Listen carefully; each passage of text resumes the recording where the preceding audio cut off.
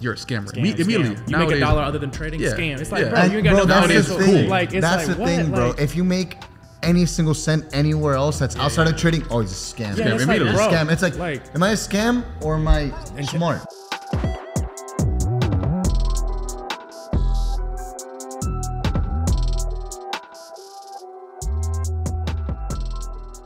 Before we get into the episode, I want to let you know that Words of Rizdom is going up to a whole new level. Already, thousands of traders have gotten funded, become full time, and have completely changed their trading game thanks to the podcast. And that is our mission. Our whole mission is to give you as much value as possible so that you can be the best trader possible. Now, the first way of you being able to do that through this platform is making sure that you're subscribed and hit the notification bell so you never miss an upload. On top of that, I've created a free Telegram group where I am giving discounts, giveaways, free technical course, free mindset course, everything you can think of is in that Telegram group. The link's in the description. Make sure you check that out.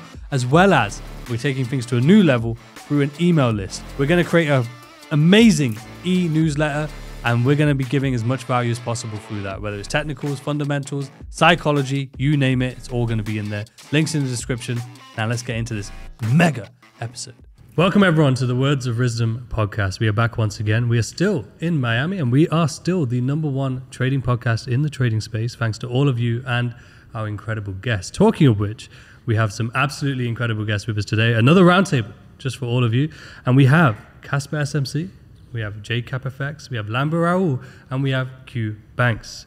First of all, thank you all for being here today. And I'll just throw it out there straight away, and we'll start with you, Casper. Um, very simple question: like, why did you get into trading? So, man, first off, thank you for having me on. It's a pleasure as always. Um, but man, so when I first got into trading, it wasn't really trading as much. It was more just buying crypto and holding it, right? Like I, I had friends that were into mining it, and they would just tell me all the time, like, "Oh, you need to get into this, you know, this and that." And I had no idea really like what any of it even meant, right? I'm just like, okay. Th- This was back when you had to buy Bitcoin off something called local Bitcoin. Or they had other things too, but like literally you had to buy Bitcoin like in person from like somebody who had Bitcoin. There, there were other ways, you know, there's like Mount Gox and all that stuff. But I bought Bitcoin, right? Just put whatever I had into it, kept buying it, and then it, it blew up, right? So I got super lucky. And then I was thinking, okay, you know, I'm a trader, right? Like, like I made some money, I'm, I'm gonna keep doing this. And uh, pretty much over the next couple years, slowly round tripped most of that, dumped more money in, lost it, just kind of kept back and, you know, going back and forth. I never really took it seriously though, right? Um, and I was working a sales job. I was doing like solar sales, doing I, I, I didn't really like it. You know what I mean? Solar sales is not really, it's not something that's fun. It's not something that's eventful.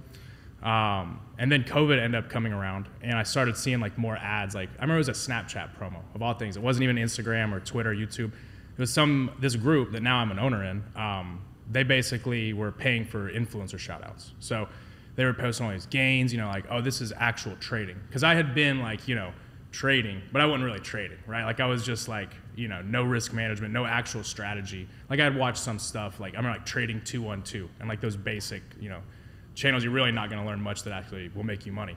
Um, but I started trading in that Discord. I joined it, started taking it seriously, and started understanding like, oh, okay, there's actual structure to this. You can, you know, there's actual risk management. Started learning uh, other strategies than like ICT and SMC. This is you know basic like fib stuff.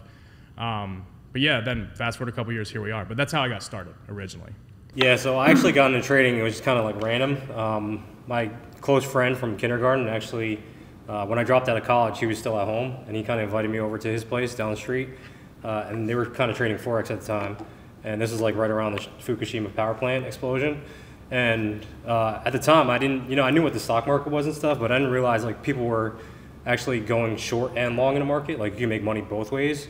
Uh, just seeing like that terminal and Interestingly enough, the MetaTrader 4 terminal is the same as it was back then, you know, 2011. Um, but the reason why I stuck with it was because, like, it seemed like an easy way to make money, right? Like, everybody gets into trading because you can click a button and just make money, like, almost instantly. Um, but yeah, little did did I know that that journey was going to take me, you know, however long it took me to become profitable, which was like close to seven or eight years. Um, and thanks to the prop space, it allowed me to like leverage my capital more so than I- would I, I'd be able to just working a regular job, you know, because I wasn't uh, like an A plus student. I, I didn't have like super uh, high grades, so I never really got like that career start that I wanted. So I kind of had a slow career start after leaving college. Um, but yeah, I've stuck with it ever since, and yeah, kind of Here we are today. That's it. Yeah. Yeah, my story's pretty simple. It's a long one, so I'll, I'll try and summarize it as best as possible. Uh, the original career path out of high school that I wanted to go to, I was no longer able to actually do because of a medical diagnosis that I had. So, literally one day online, stumbling upon how I can make money online, I came across, uh, across day trading. And that's basically where it all started for me. Like, I already knew kind of what the stock market was. Like, I had a general idea. I thought people made money in the stock market by just buying stocks, holding them, and then when they went up, they just cashed out and then moved on to the next stock. That was my overall ideology of what trading was, but I didn't know it got this intricate, nor did I think it would actually take me this far, you know, years down the line. That's kind of like a short story on how I got into uh, into day trading. Yeah. So with me, um, I mean, I was first introduced to trading at 20 years old. Stock options first. So I was, you know, in that field first, and then I kind of put it to the side for like a couple years, and then I took it back up at 24. Um, around that time, like you know, Facebook w- was kind of going crazy. Like everybody was, was doing s- something online in, in some kind of way, like affiliate marketing and, and, that, and that kind of stuff. And some people were um, also trading as well. I took it back up at that time. Um, they were doing the market maker method. I'm pretty sure y'all know about it, right? Um, and I took it back up. At that time, like I had some friends that, that were making like 10k a day and that kind of stuff. Like I knew that there was there's some kind of truth behind every single lie, right? So it's not like I doubted them, but at the same time, like if there's something there, then there's some, something real there, no matter how small it might be, you know. So I took it up. Um, I joined a group and everything called um, War Three at, at the time in 2014. Um, I stuck with it. I started making a, a, a, little bit of profit here and there, twenty dollars here, thirty dollars here, that, that kind of stuff, each and every single day, like while I was still working at Target. And um, and yeah, like um, I kind of like the stuck with it in my group. I, I, I became kind of like stand outish in that group, and um, I started making a bit more, more and more money over time. And like since I had friends that, that were doing very very well inside of it, I knew that like if I stuck with it long enough, I could, I could eventually start making that kind of money eventually. You know what I'm saying? Like even if it was 5k a day and that kind of stuff. Like and I started making that kind of money in like like about five years in. But at the same time, like you know, I knew that this was the only route that I could actually take to to, to like afford the kind of things that I'm that I'm actually into as, as far as cars, um, condos, traveling. No other kind, no other kind of job can, can actually make me get that that kind of um, lifestyle, you know. So um, trading was the only way that I pretty much seen fit, and then I kind of just stuck with it over time and everything, you know. Definitely. Yeah. No, I love that. And Yeah. you know, in terms of uh, trading wise, like all of you, if I'm not mistaken, started, you know, maybe not in the industry you're trading right now. Mm. So I think you guys are in equities right, or indices. Uh, now, yeah. Yeah, and then you guys, you were in FX and then now into futures. Yeah. You in crypto now into futures. Yeah, as as I said, I started in crypto, but now I just trade futures like Nasdaq. Yeah. yeah, Nasdaq ES sometimes, but So, like, uh, what's it been like to change? Because you know, a lot of people right now are going to be going through a lot of changes, more than likely, and a lot of people really resist change in their trading. Like, so, have any tips or anything that really helped you to just embrace change, or you know, just kind of accept change? To be honest, bro, I've always said like, if you can trade, you can trade, man. Like it ain't there, there's nuance and there's differences for sure. Like yes, like position sizing is different in futures. The way I looked at it, I was like, okay, well, I'm just longing or, or I'm just playing with a 20 lot per contract to NQ, right? It's, it's literally the same thing. It's just changing your position sizing. Now, if you're changing from like maybe trading like London session to New York session, okay, you're changing your times. You're changing a little bit of like what's you know what kind of strategies work better during some you know uh, sessions than other but relatively it's all the same bro. Like um, i also came from like swing trading at first right? So i think a lot of people that get started um, especially like right now everybody's just day trading one minute entry five minute entries. Um, and i think that then everyone's like oh like how would i transition to swing trading? Which to me is weird because i'm like if you can do that you know the swing trading as far as like the technical part is just way easier. You're going to have way higher hit rate um, but I think a lot of people overthink it. Like everybody right now, like you said, with all the, the stuff that's going on with you know forex props and everything, is like um, everybody's oh what am I gonna do? And I, and I just always tell people like if you got the skill, bro, this doesn't really matter. Like you're gonna have a little bit of a learning curve. You got to get used to it. But like, bro, what are you gonna what are you gonna do? You know what I'm saying? If, if, if you're forced to change, you're gonna have to change. But it, it's I think people overthink it for sure though. Definitely. Yeah, so I actually only made the transition from forex to futures in the last like month or so, mm-hmm. just out of necessity, uh, because obviously I have to adapt. I mean, in my opinion, like, and and you had this discussion with Trader Man on your podcast, right? And I think what I'm noticing is in futures, there's higher vol. There's more volatility in those markets. So me finding a higher risk reward trade on a day to day basis seems a lot easier. So that transition actually seems a lot easier than what most people might think. Like forex is an efficient market. Like they're global currencies, they have to be stable. So like when you're looking at the euro dollar today, the daily change was zero, zero percent, zero point zero zero percent. And then you look at NQ and ES, they're up two percent.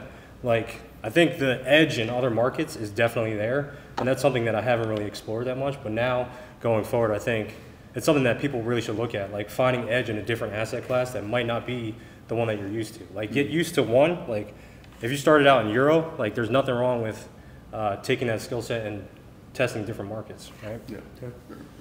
yeah. I mean, for me personally, I think change is a necessity, not just to be able to change the new market and adapt to those new market conditions, but even the platforms and tools that are available to you. You know, sometimes it's going to be for the better, maybe for the worse, but it's a necessity, you know, and not just change in trading, but in changing life as well. Sometimes that is a crucial step that you need to take. I mean, for those people who are just too stuck on, you know, the old platforms, such as the problem that's going on with MetaTrader, it's like, Bro, if you know how to trade, you could go and trade on any platform if you're still able to execute. Like he said previously, there might be minor differences, but if you could still execute perfectly, then there really shouldn't be too much of a problem, in my personal Yeah, you just need opinion. a buy and sell button, right? Yeah. Limit, stop. yeah, so I think like um I've, I've had like the most amount of change um throughout like you guys here like at the moment honestly because um I mean even before I got onto MetaTrader I was on another platform like I forgot like what it's called and everything but it was like like a like a black and yellow platform like back then it was on Forex Broker Inc. own platform and everything like back then and um back then I, I was also trading oil you know what I'm saying so I, I started on oil first before any kind of currencies and indexes and that kind of stuff and then eventually I got onto currencies for a couple years, and then cryptos for a couple years, and then traded gold for like about ten months, and then now it's indexes. So I think um, I've I've had to adapt to the markets many many times, based off of me just trying to upgrade like like my trading assets over time because I see myself trading currencies, and then things got too slow for me based on like like my ability to, to analyze like fast and everything. So that's when I went to like a newer pair every single time that was a bit faster. And now uh, I'm on US 30. So US 30 pretty much it gives me the kind of money that I want to make, but also like it's as volatile as it needs to be. So I could actually see the kind of profit that I want to see, you know? So um, I think it was just more like just me adapting based off like like my level of skill, so it could actually level out because I started um, being very very good at AU like long time ago. But then I, I think like I was analyzing too fast and too, I was trying to an- anticipate the move too e- um, too easily, to the point that I would just mess up. So I'll have to go on a pair that's pretty much faster, so it's, it's matching the rate that I'm I'm also analyzing as well. You know what I'm saying? So like I- I had to adapt to like something that's newer and fresh. Yeah, 30's fast, man. 30's crazy, yeah. But the same amount of effort that you're putting to analyze a slow pair, to put that same amount of effort into an index, and you're making some more money. Like, Yeah, a yeah. yeah. That's why I think more that money. transition is easier. Yeah, but a person can make more money just by just that change of pair. yeah. Same kind of analysis, same kind of effort, same kind of everything. It's just a different asset. That's Yeah, especially on indices too, like the risk reward opportunities on a day to day basis is incredible compared to any forex pair. Yeah. You just, and it's, they're non comparable. Yeah, like um, I, th- I think with indexes, like it pretty much tells you when, like when you're wrong very, very easily. You know, like very, very quickly, and then at that point, you can pretty much just write out a move, and it's and the pip count is worth more. Yeah, yeah. In forex, it's like it'll range for in a 20 pip range for four hours. And Yeah, yeah. But even You're like not even getting, like, one futures, round of it. I've never ever dabbled in futures yet, but a lot of people that I know like that have been do- doing um currencies, they're going to futures now. Yeah, I don't know why. Spread. There's no spread. See, I haven't even experienced that. yet. You know what I'm saying? But e- eventually, I do want to dabble in it, but I'm not opposed to it. But you know, like when the time comes. So. Yeah, no, because there's a lot of options traders as well switching to futures. I don't, and I've, I've been asking them as well the same reason, but yeah, it's it's just so interesting. I think it's so important as you guys have highlighted in terms of like having being open to change, you know. And um, one thing that's very interesting about this this roundtable and why we've done it in this way is that we have like the the industry's changes and always changes over time. And you guys have been, you know, within the industry and the, you know, sort of with the community for so long now, and you've probably seen these changes. Yeah. Um, while we're kind of just coming up, if you will. And but we've been part of like the whole SMC ICT sort of crowd, and then they're very loud, as you can imagine. Till this day, I don't know The anything about those. I know, it's good. It was good.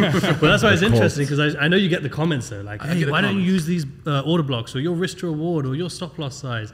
And it's always interesting. Like, what are your thoughts when you trade the way you like to trade and have been trading and have been doing it profitably? But then there's people always trying to tell you of this new style or maybe you're doing this wrong. Let's take a break for a minute there, guys, because I want to tell you about the best trading tool on the market, Trade Zeller. The reason why TradeZella is the number one trading tool that every trader needs is because you can do backtesting, automated journaling, trade replay, in depth analytics, and so much more. And the greatest part about TradeZella is that it's all automated. All you have to do is connect your MT4 and MT5. It will pull all your data onto the dashboard. You can add playbooks, you can just add notes, you can add images from your trades, and you can get the insights that is necessary for you to progress as a trader. Now, TradeZella is for absolutely everyone. Whether you're a crypto trader, whether you're a forex trader, whether you trade prop firms, it is for absolutely everyone. And that is why thousands of traders have signed up using my link here through the podcast. Make sure you use the code RIZ10 for 10% off your monthly subscription or WOR for 20% off your yearly subscription. The link is in the description below. And let's get back to the episode. So people have been trying to push ICT upon me for the past five years. Just like Same. Yo, yo, Q man, like this, try this. this is better. But I'm like, yeah, but I'm doing great with how I'm trading, you know. So it's kind of like you know, um, but personally, till this day, I haven't really seen much ICT people or SMC people that's making more, more kind of big profits that I make with their style. That's Yeah, I feel like a lot of people have also tried pushing like the whole ICT agenda, if that's how you want to put it, onto me too. And I'll even have like people in my chat nowadays like, oh, there's a uh, an FVG here, and then we have this over here, and then a conch, and I'm like, bro, what the fuck are you talking about? bro?" I think they Like- com- they complicate trading way more than it needs to be. I feel like for me personally, it doesn't matter how you make money in the markets. It doesn't matter if you trade smart money concepts. I know people who trade trend lines and make an absolute killing, right? It's as long as you're profitable in the long run. In that system that you're trading has a positive expectancy in the long run. But to me, it's like, bro, there's I've, I've had so many people trying to actually push ICT on me and like to start learning ICT and smart money concepts, and I'm like, bro, I've been trying like this for the last few years. You really think that if I'm making money right now, I'm just gonna randomly switch up my strategy? And not just that, I feel like also when it comes to like a lot of the people who are in the that space, right? I feel like people make it try and sound more complicated than what it really needs to be because trading, when you talk to an average person who knows nothing about trading, it sounds like it's it's like this this super complicated thing to really get into. But when you break it down, like it's it's really not. So you could push an agenda maybe a little bit easier when it sounds that complicated because it makes sense. Yeah, that's true. Yeah, no, that's very true, man. And that's like, I think that the stigma that a lot of people put on it is like, cause exactly that, right? Cause it's like a marketing tool. Cause that's Yeah. really what it was. That's how like 100%. it started. You know what I'm saying? Like the whole like, uh, kind of you know conspiracy like i know what you don't know like that all stuff is Yeah. like all created to be a marketing tool that's really Yeah. what it is but at the end of the day too like something i noticed a lot is like a lot of the times like good setups are forming like for like an ICT trader. Well, they're also forming for a hundred other types of traders. Yeah, You know what I'm saying? So 100%. like I wholeheartedly agree. Like whatever you're doing, if you're making money, like don't even. Why would you even think about changing it? You know what I'm saying? It's just like that's the last thing you do in trading. Like, Once you Yeah. get something that works, you just refine it. You know. But it's like, when does a person even like start doing SMC or ICT and then transition over to being like a, a technical trader? You know, like Yeah. like when does that happen? You know, I like mean- what, like what has to be shown so so they could even even convert in some kind of way. You mean like technical, like just like a different like style. A different style, like- yeah, like a different style. Um, I don't know. I think a lot of people they get stuck in it because like they've kind of like accepted the the gospel of it. I don't know if I read a word of ICT. Like literally, that's how people look at it. Though it's like a cult, bro. But I think that you that they get It's lost in the cult. yeah they get lost in the wrong thing. At the end of the day, man, like I know a lot of people. Like for example, I have students that are also a member of your community, and we trade completely different. But they're like, oh, like I've blended some of the stuff, and they've Mm-hmm. Yeah, come up with their own strategy. You know what I mean? Yeah. So I think really what it comes down to is like most of the people that are in any uh, space of trading when they're learning aren't making money. So they kind of will learn. They'll either stick with that one until they learn, or they might end up strategy hopping Um, and hopefully they find another one where they'll be profitable. So I think what pe- makes people switch is just not it not working for them. I think that, that that's probably like the, the most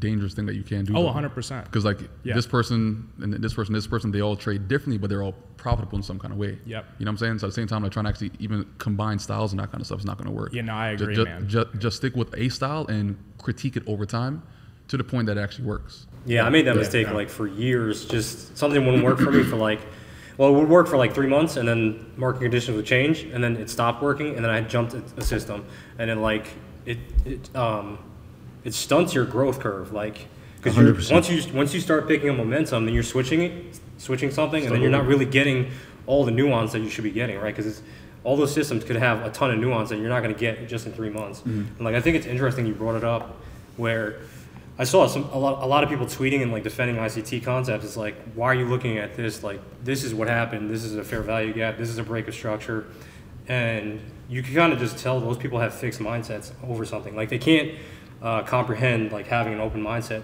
that somebody else has a different system that works in the markets that is not ICT, right? They're trying to like defend it like tooth and nail. They could see you in profit and, and, and still tell you that you're incorrect. Yeah. It Yeah, make literally, always the best. literally. Oh, he got lucky. yeah. He got lucky. That's the only opposition I have against like probably those some of those I don't want to like generalize all of them, but it's like bro, like you It's have this majority- it's majority, ego. though. Yeah, you have like yeah. this ego in the markets that you're trading the system and you don't even have a hundred grand of your own personal trading capital, nor do you really have the skin in the game to be like, yeah, your system sucks. You know what I'm saying? So for me, it's more like you have this huge ego inside of the markets where ego kills you. Yeah, So yeah, like, it's the mental what's, what's don't have the really mental what's really going on here? I think like um I had like my like the same style that I trade now like I've been trading for the past like nine years actually. Like well eight years because the first year was market making method right? Well beyond that it was just more just like trial and error trial and error trial and error and then like like fixing certain things in my style. Like it could be like the most smallest thing like how I even apply a trend line and like you know the, the small things but nine years eight years of critiquing got it to where it is now Yeah. and I think that's what it is. Like if you stick with your style, then you, it'll eventually get to a point that it's profitable. You know, People are like perpetually stuck in the trial and error phase, though. that sucks. You know Yeah. what I mean? Like they're know. just stuck there forever. Yeah. What, nah. But like, why do you think though? I don't know. I just think they like they, they haven't figured out what works. Like they're probably not analyzing their data enough to say like I took this trade. This is exactly what worked. It's like when they when they win, it almost feels like luck. Yeah. So like like my um theory behind that is, is probably because um so, so like I've only tra- traded them like I think like about a couple weeks wh- like when I first started because I think it's um you're not really getting the true feeling of trading if you're just on demo the entire time. So throughout like like my entire like development of like my style and everything else, like I'm live the entire time. Even if it's like a hundred dollar account or a thousand dollar account, it's still live. So you're still gaining emotion and like you have like the um the urge to want to fix it, like want to actually you know understand like why it's not working and that kind of stuff. Even like critique those small things and that kind of stuff. So I feel like it just it kind of forces you to grow, and that trial and error phase eventually kind of like just goes out the window because you kind of like are forcing yourself to actually make money in real money that you're actually using. You know what I'm saying? Yeah, and I think what- you probably noticed it too. Like when you're scaling up, like that same trade that you took that might have been fifty dollars. Like you could have made that same exact trade and now it's five k. You know what I mean? It's just the size is different. Yeah. So like when you find something that works on the smallest amount of money, just try and scale that up But- as but- big as you can. You gotta have balls though. yeah. I mean, if you're ready to. Yeah, yeah. I mean, you could kind of like find a way to like grow them, you know, like because not yeah. everybody's like comfortable risking X amount. Because when I came into the game, I was only risking like fifty dollars, hundred dollars, you know, just like you. And then over time, like you get more and more comfortable. Just they're just numbers on the screen, right? It's just a numbers. video Yeah. game. I think like when I, I thought about that um concept, it's just numbers. It's literally just, just a game that you gotta try to be a part of as, as long as possible. That's when um I kind of started seeing like the most amount of growth because um I've always wanted to play the game. I've always wanted to be in the game, stay in the game as long as possible. Because once you're in the game as long as possible, you get- you you get the most amount of, of experience compared to some people that they they blow an account, then they take like three months off, and now you're Oh three yeah, months no. behind. You just reset yourself.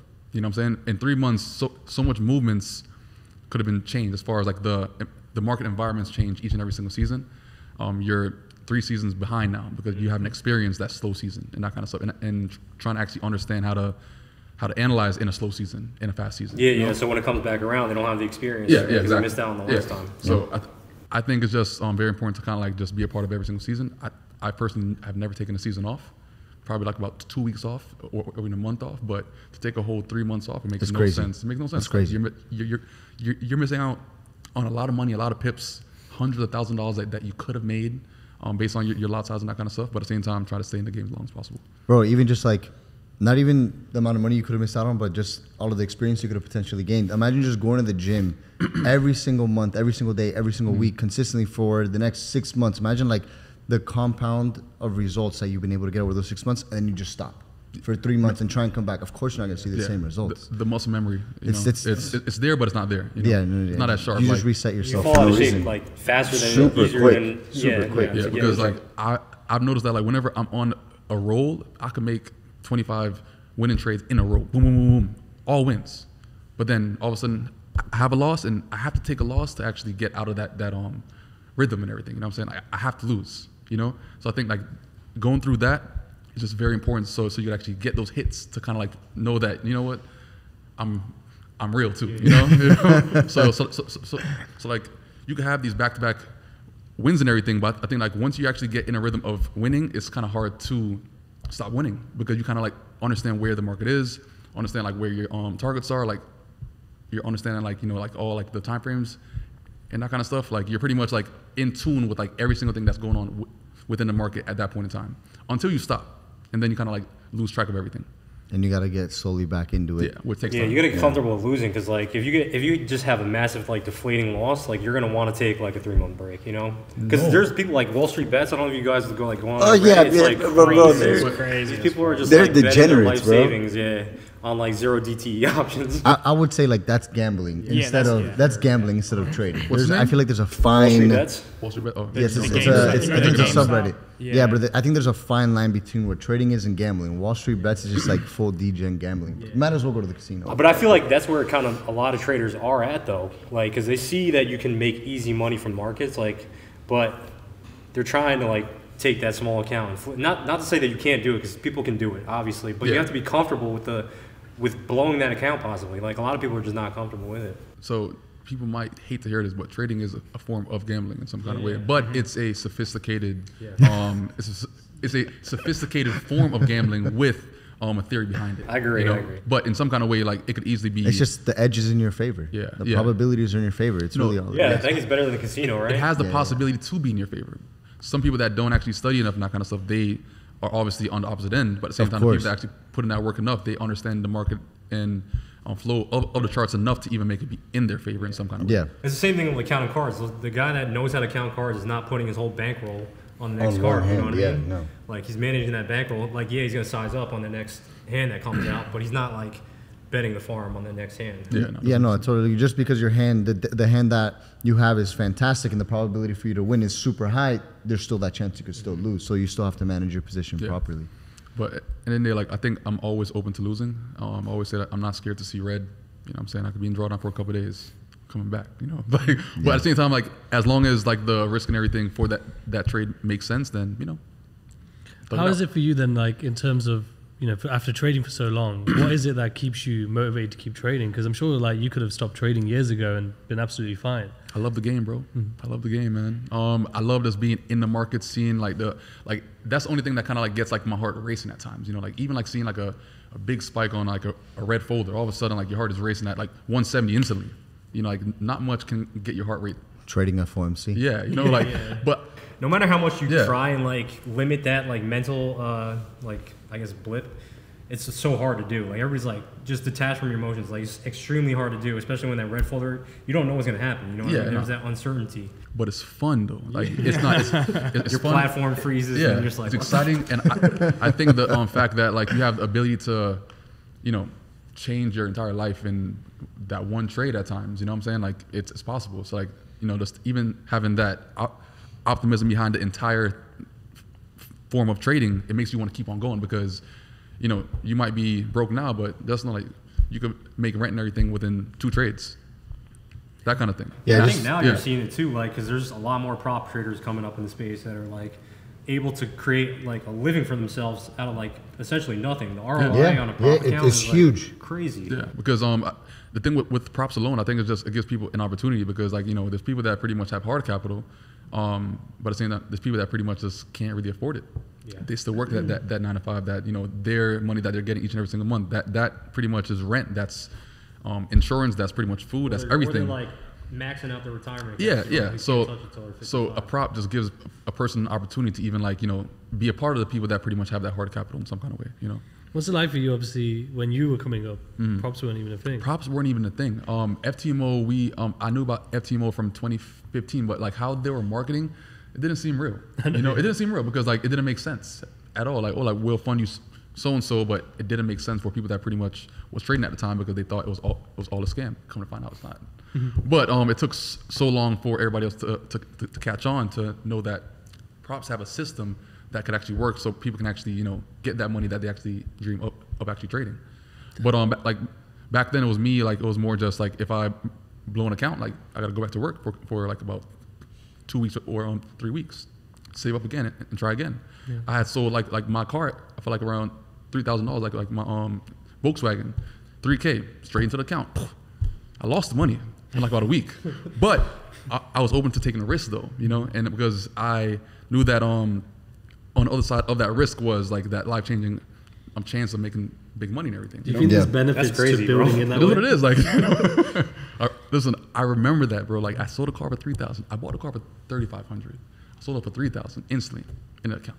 Fuck Yeah. that. Do you, is, Take my there, chance. is there benefits you think that some traders are missing out on from building your own account in that way? Hundred percent. I think it builds more. It builds more character. It builds more. I agree. Um, edge. Like you pretty much understand like the foundation a lot more than people that's trading like nowadays. Like I personally think like traders nowadays are kind of soft, you know, because they don't really know like how to actually. They don't have the grit, you know, compared to a person that pretty much had to actually grind for the money and then invest the money and then build the money and then build the money again. So it's it creates a different kind of trader, a person that's pretty much not open to failing just because they blew an account and that kind of stuff. Yeah. You know. There's a big difference when you lose an 100K funded account and your own 100K account. Huge difference. Like there's a, there's a lot of traders, and we talk about it all the time. There's a lot of traders that are net profitable prop, but like if you look at their drawdown, how many how many accounts they blew, you know, like that's ten percent drawdown that they blew every single time. You try to do that on a personal account, there's no reset.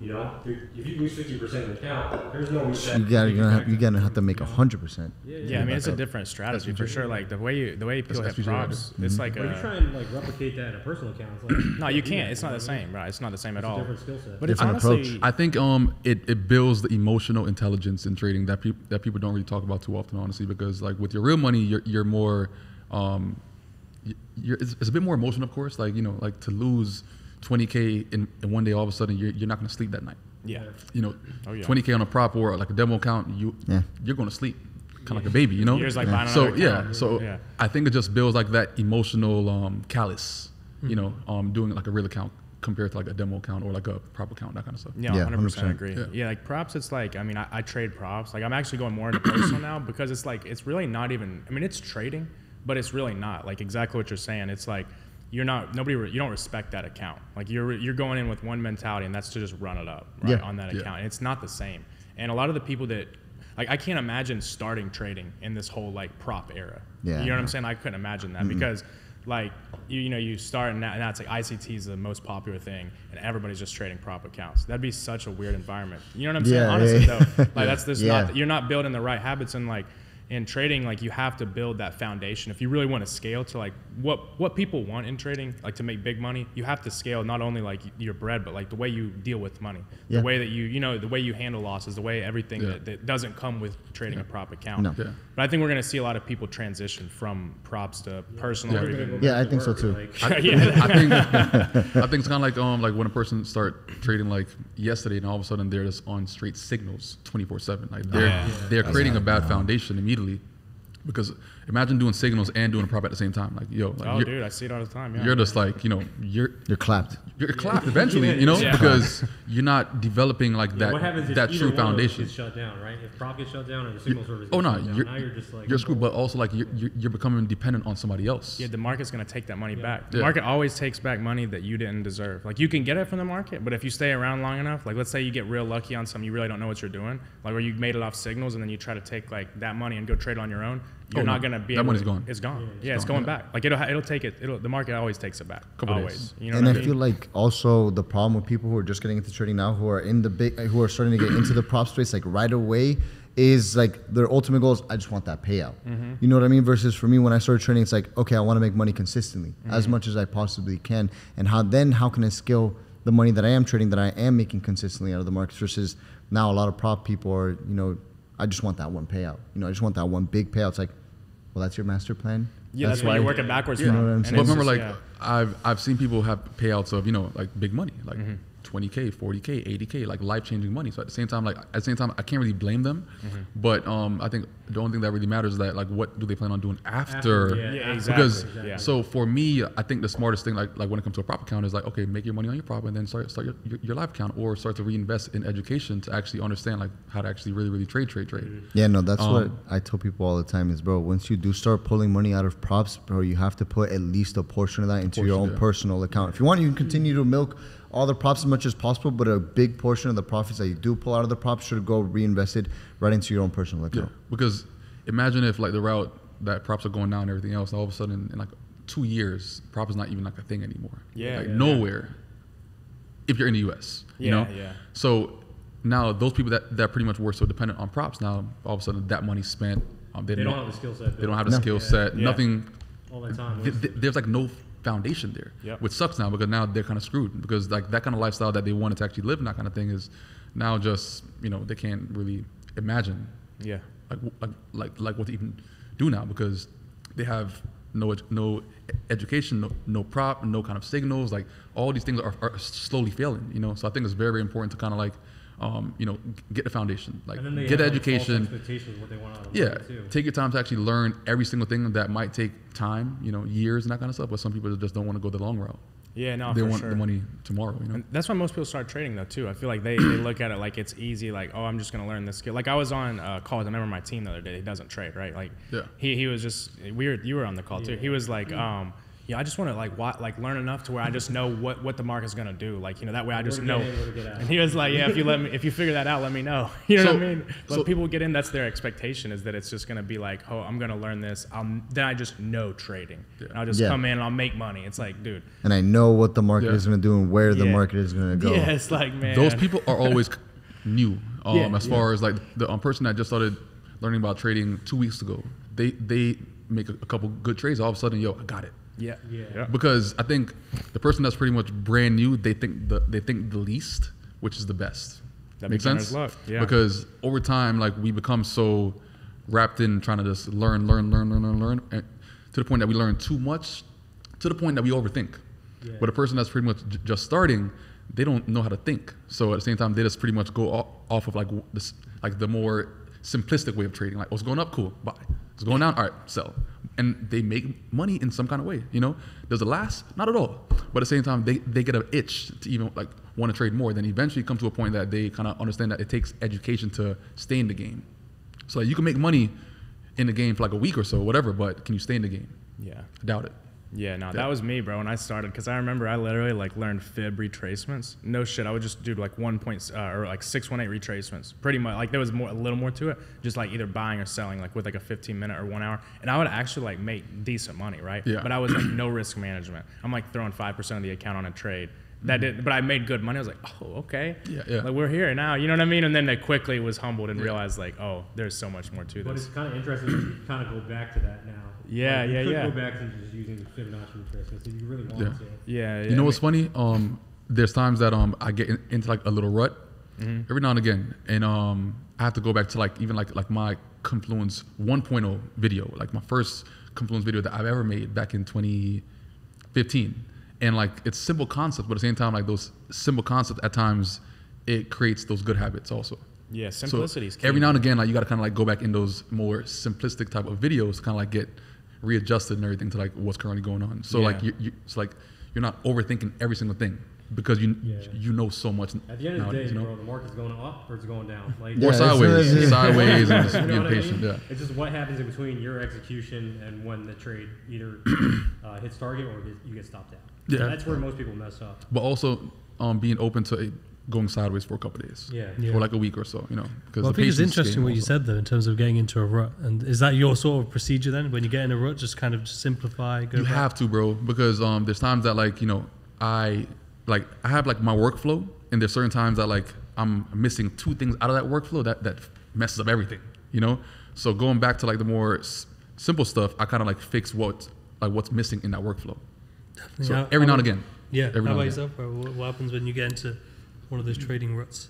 It really depends on the amount of money that I've lost over the span of that potential losing streak. Um, Had and it be- really, had to be like a big loss. Yeah, true. yeah, yeah, it really just depends on the amount of money that I lost. If it's like normal losses, that it's like, okay, well, you know, I'm just gonna keep trading through it. Like I trust my system, I trust my strategy. But honestly, it also comes down to me looking back at the results and really analyzing, okay, well, am I over trading? Am I overcomplicating things? Because that's another point that I was actually going to add on. Like some of my best trades, my biggest trades too, in terms of not just our multiple, but in, from a monetary perspective, um, have been the simplest trades. And my shittiest trades have been the ones where I try and really overcomplicate it and I really try and combine as many things as I possibly can and just really overanalyzing price action have always been my worst trades, which is quite interesting to see. But for me to like to really get out of one of those like ruts or losing streak, it really just ultimately depends on going back and analyzing um, the last few trades that I've taken and just going over what I'm essentially doing wrong. If I'm doing anything wrong, and if I am doing something wrong, say, okay, let's cut it right away. Or if not, it's like, all right, well, I'm gonna keep pushing through. There's, I have no other option, you know. Yeah, that's fair. Uh, I think for me, it's like the trading frequency or just like taking a break. And again, if it's a deflating loss, like take like a couple days off. You know, even going into the weekend, if you take, let's say if you take a huge loss on Wednesday, take Thursday, Friday off, and then you have at least some time to reset before the next week. But yeah, it's kind of getting back to the basics. Like you have to have a checklist that you're checking off every time you're sitting down in the market. I find like my biggest drawdown periods is like when I'm missing parts of that checklist. Like if I'm not doing the analysis, or if I'm mismanaging my trades, like as far as position sizing or moving my stops, like for, you know widening my stops at times, or tightening them too too much, Yep. or scaling in too much, or scaling out too fast. It's like just kind of go back to basics where you're not managing the trade so much. Yeah. Like just Yeah, place an yeah. entry, just, just set and forget. yeah i might um just want to add in also um there's i mean it's, I, I think this also like i mean i'm not sure if, if, if y'all do this also but i like to keep like my charts kind of messy at times because you know like it looks good but at the same time like i think if my charts are too messy i tend to like lose track at times so having a loss i gotta clear off my, like my entire chart i have to because that way i think i could um like reanalyze reset. yeah reset everything like um change like not even change my bias but make sure that, that my bias is as it should be. Because if it's too messy i have one set bias the entire time. I have one tp in mind. Only that tp i, I see nothing else. And it might never ever even get there until i clear it off and i'm like oh what the fuck? It was in the the other direction the, the entire time you know? But i think it takes um it takes actually clearing off your entire chart every now and again to kind of like you know get that little Yeah. reset to kind of like to make sure that, that that your bias is a, as it should be because it could easily get um, conflicted and everything based on how messy your, your um, chart is and everything. I actually Yeah. do it like uh, at the start of every week, so I'll clear off my chart entirely and just start from scratch. Yeah, yeah, Yeah, yeah. I do. Nah. I hit that trash can bad button habit on now. Trading View all the Yeah. time, bro. I hit that like Nah, every day. Now, I usually- don't. After every loss, it's like, no, no, no. I usually I don't I don't have much on the screen, bro. Like to be honest, but mine's my strategy is super simple. But really, like the way like so, if I go into a drawdown, I just cut risk. Like so, my risk management, like let's say if I'm if I go anywhere below like my starting balance for a set period of time, like for the month, right? Say, then I'll cut my risk in half, right? So that eh, you know, if I start going on a losing streak, it's really not gonna do too much, you know. Um, usually, what I always do is just kind of review and be like, kind of like what you said. Am I okay? Is this like normal losses, or are you being an idiot, right? Yeah, yeah, yeah. Um, most of the time, like if I go on a losing streak, I'll be able to find something where if it's like if it's enough to where I'm like analyzing it, I can almost always go back and be like, okay, yeah. Yeah. what are you doing, bro? I You feel know like that's I mean? what people don't do, though. I feel like Nah, people don't look really. at like the, uh, to me. There's a big difference between going back onto whatever trading platform you're on and looking at your trades and saying, okay, yeah, I lost this many trades, I lost that many trades, I've won this many trades, and actually having a structured journal. Because for me nowadays, especially too, like for me to be able to analyze all the trades that I'm taking, I need to see not just screenshots, but especially with like TradeZella, it's so helpful nowadays because you there's an interactive chart. Like I need to go back into that and see, okay, is this normal or am I doing something that is causing these losses on purpose? That's what a lot of people don't do. Just like a regular business would have its business structure and a business plan, I feel like that's what a lot of people neglect when it comes to trading because they just think, all right, cool, I just got to come in, press buy, sell. I could see all my trade history here. Like I don't have to keep track of anything. And for me, that's what really took me to like that next level of seeing like those big trading days and really understanding what market conditions I want to start sizing in on and mm. what market conditions I want to start taking money off of the table too. You know, so that was a big portion of that for me too. I feel like that's why a lot of people going back to you. Uh, I think it was I don't know. I think it was his question. What- what- was your question when he was talking about why do you think like a lot of those people can't get past that like that Yeah. critiquing Oh. era? Yeah, yeah, yeah, I feel yeah. like that's a big portion that's missing for them. all, right? Yeah, No. yeah. I wouldn't even say journaling. I would say more just keeping track of your own statistics and understanding why you're taking these trades. That's why. Yeah. Yeah, accountability is real because I it's think like I'm one of those people. Yeah, yeah, yeah, because yeah. because I I don't keep track of like my trades like in a journal, but at the same time like I'm I'm working towards that because um I think there, there's certain times like like when I'm in that like that rut and everything else, I don't understand why. Mm-hmm. Yeah, yeah, you yeah. know.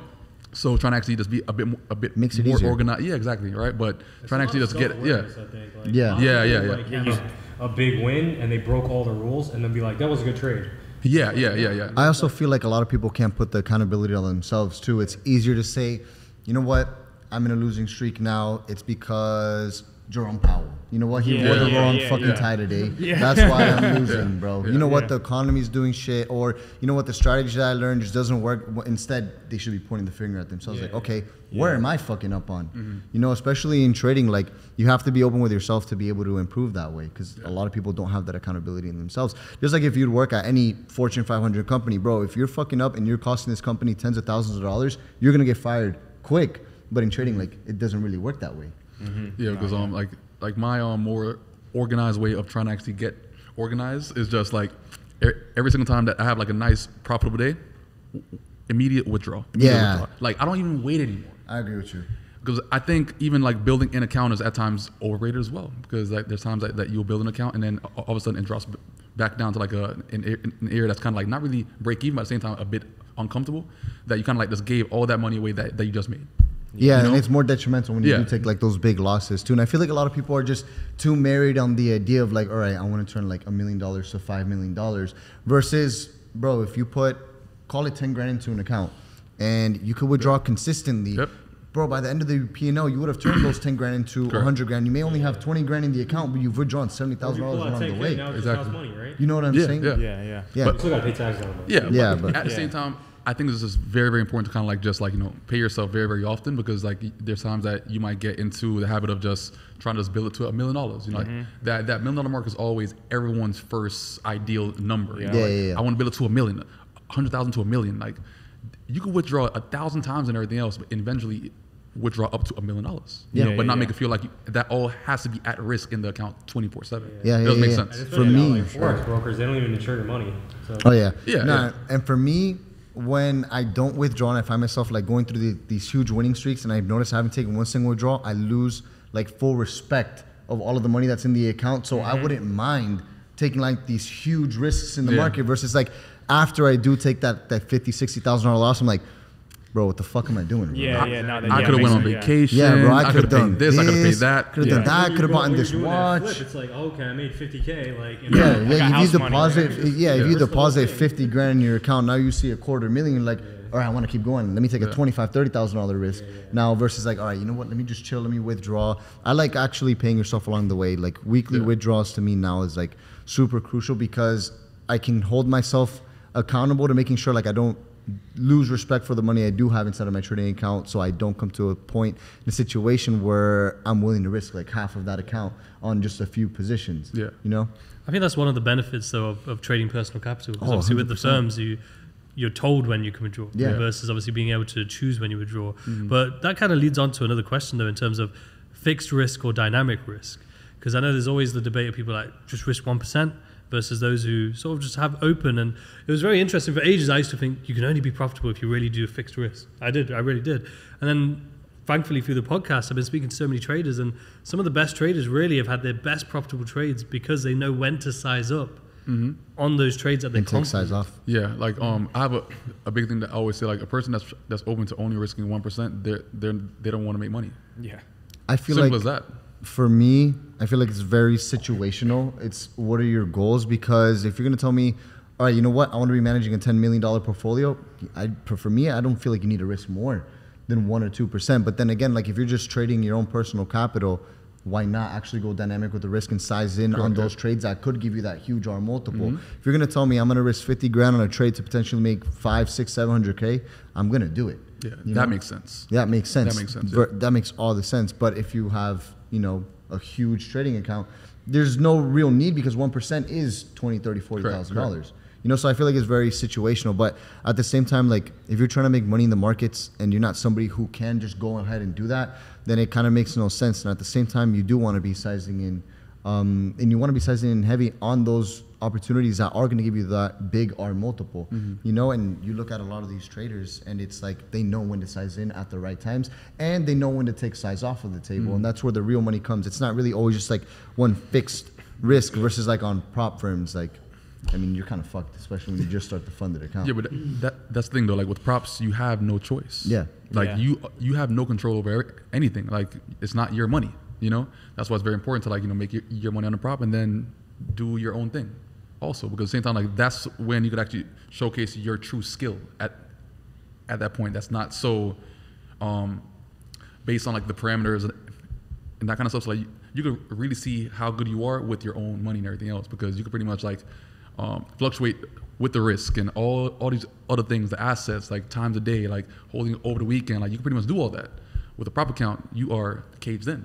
Yep. But it's not your money. Yeah. Yeah. So and it would you makes pay sense. two thousand dollars for Yeah. three hundred k, four hundred k nowadays? It's not your money. It's just a tool, It's not your man. money. It's just a tool. If it's your money, you can go as crazy as you want to.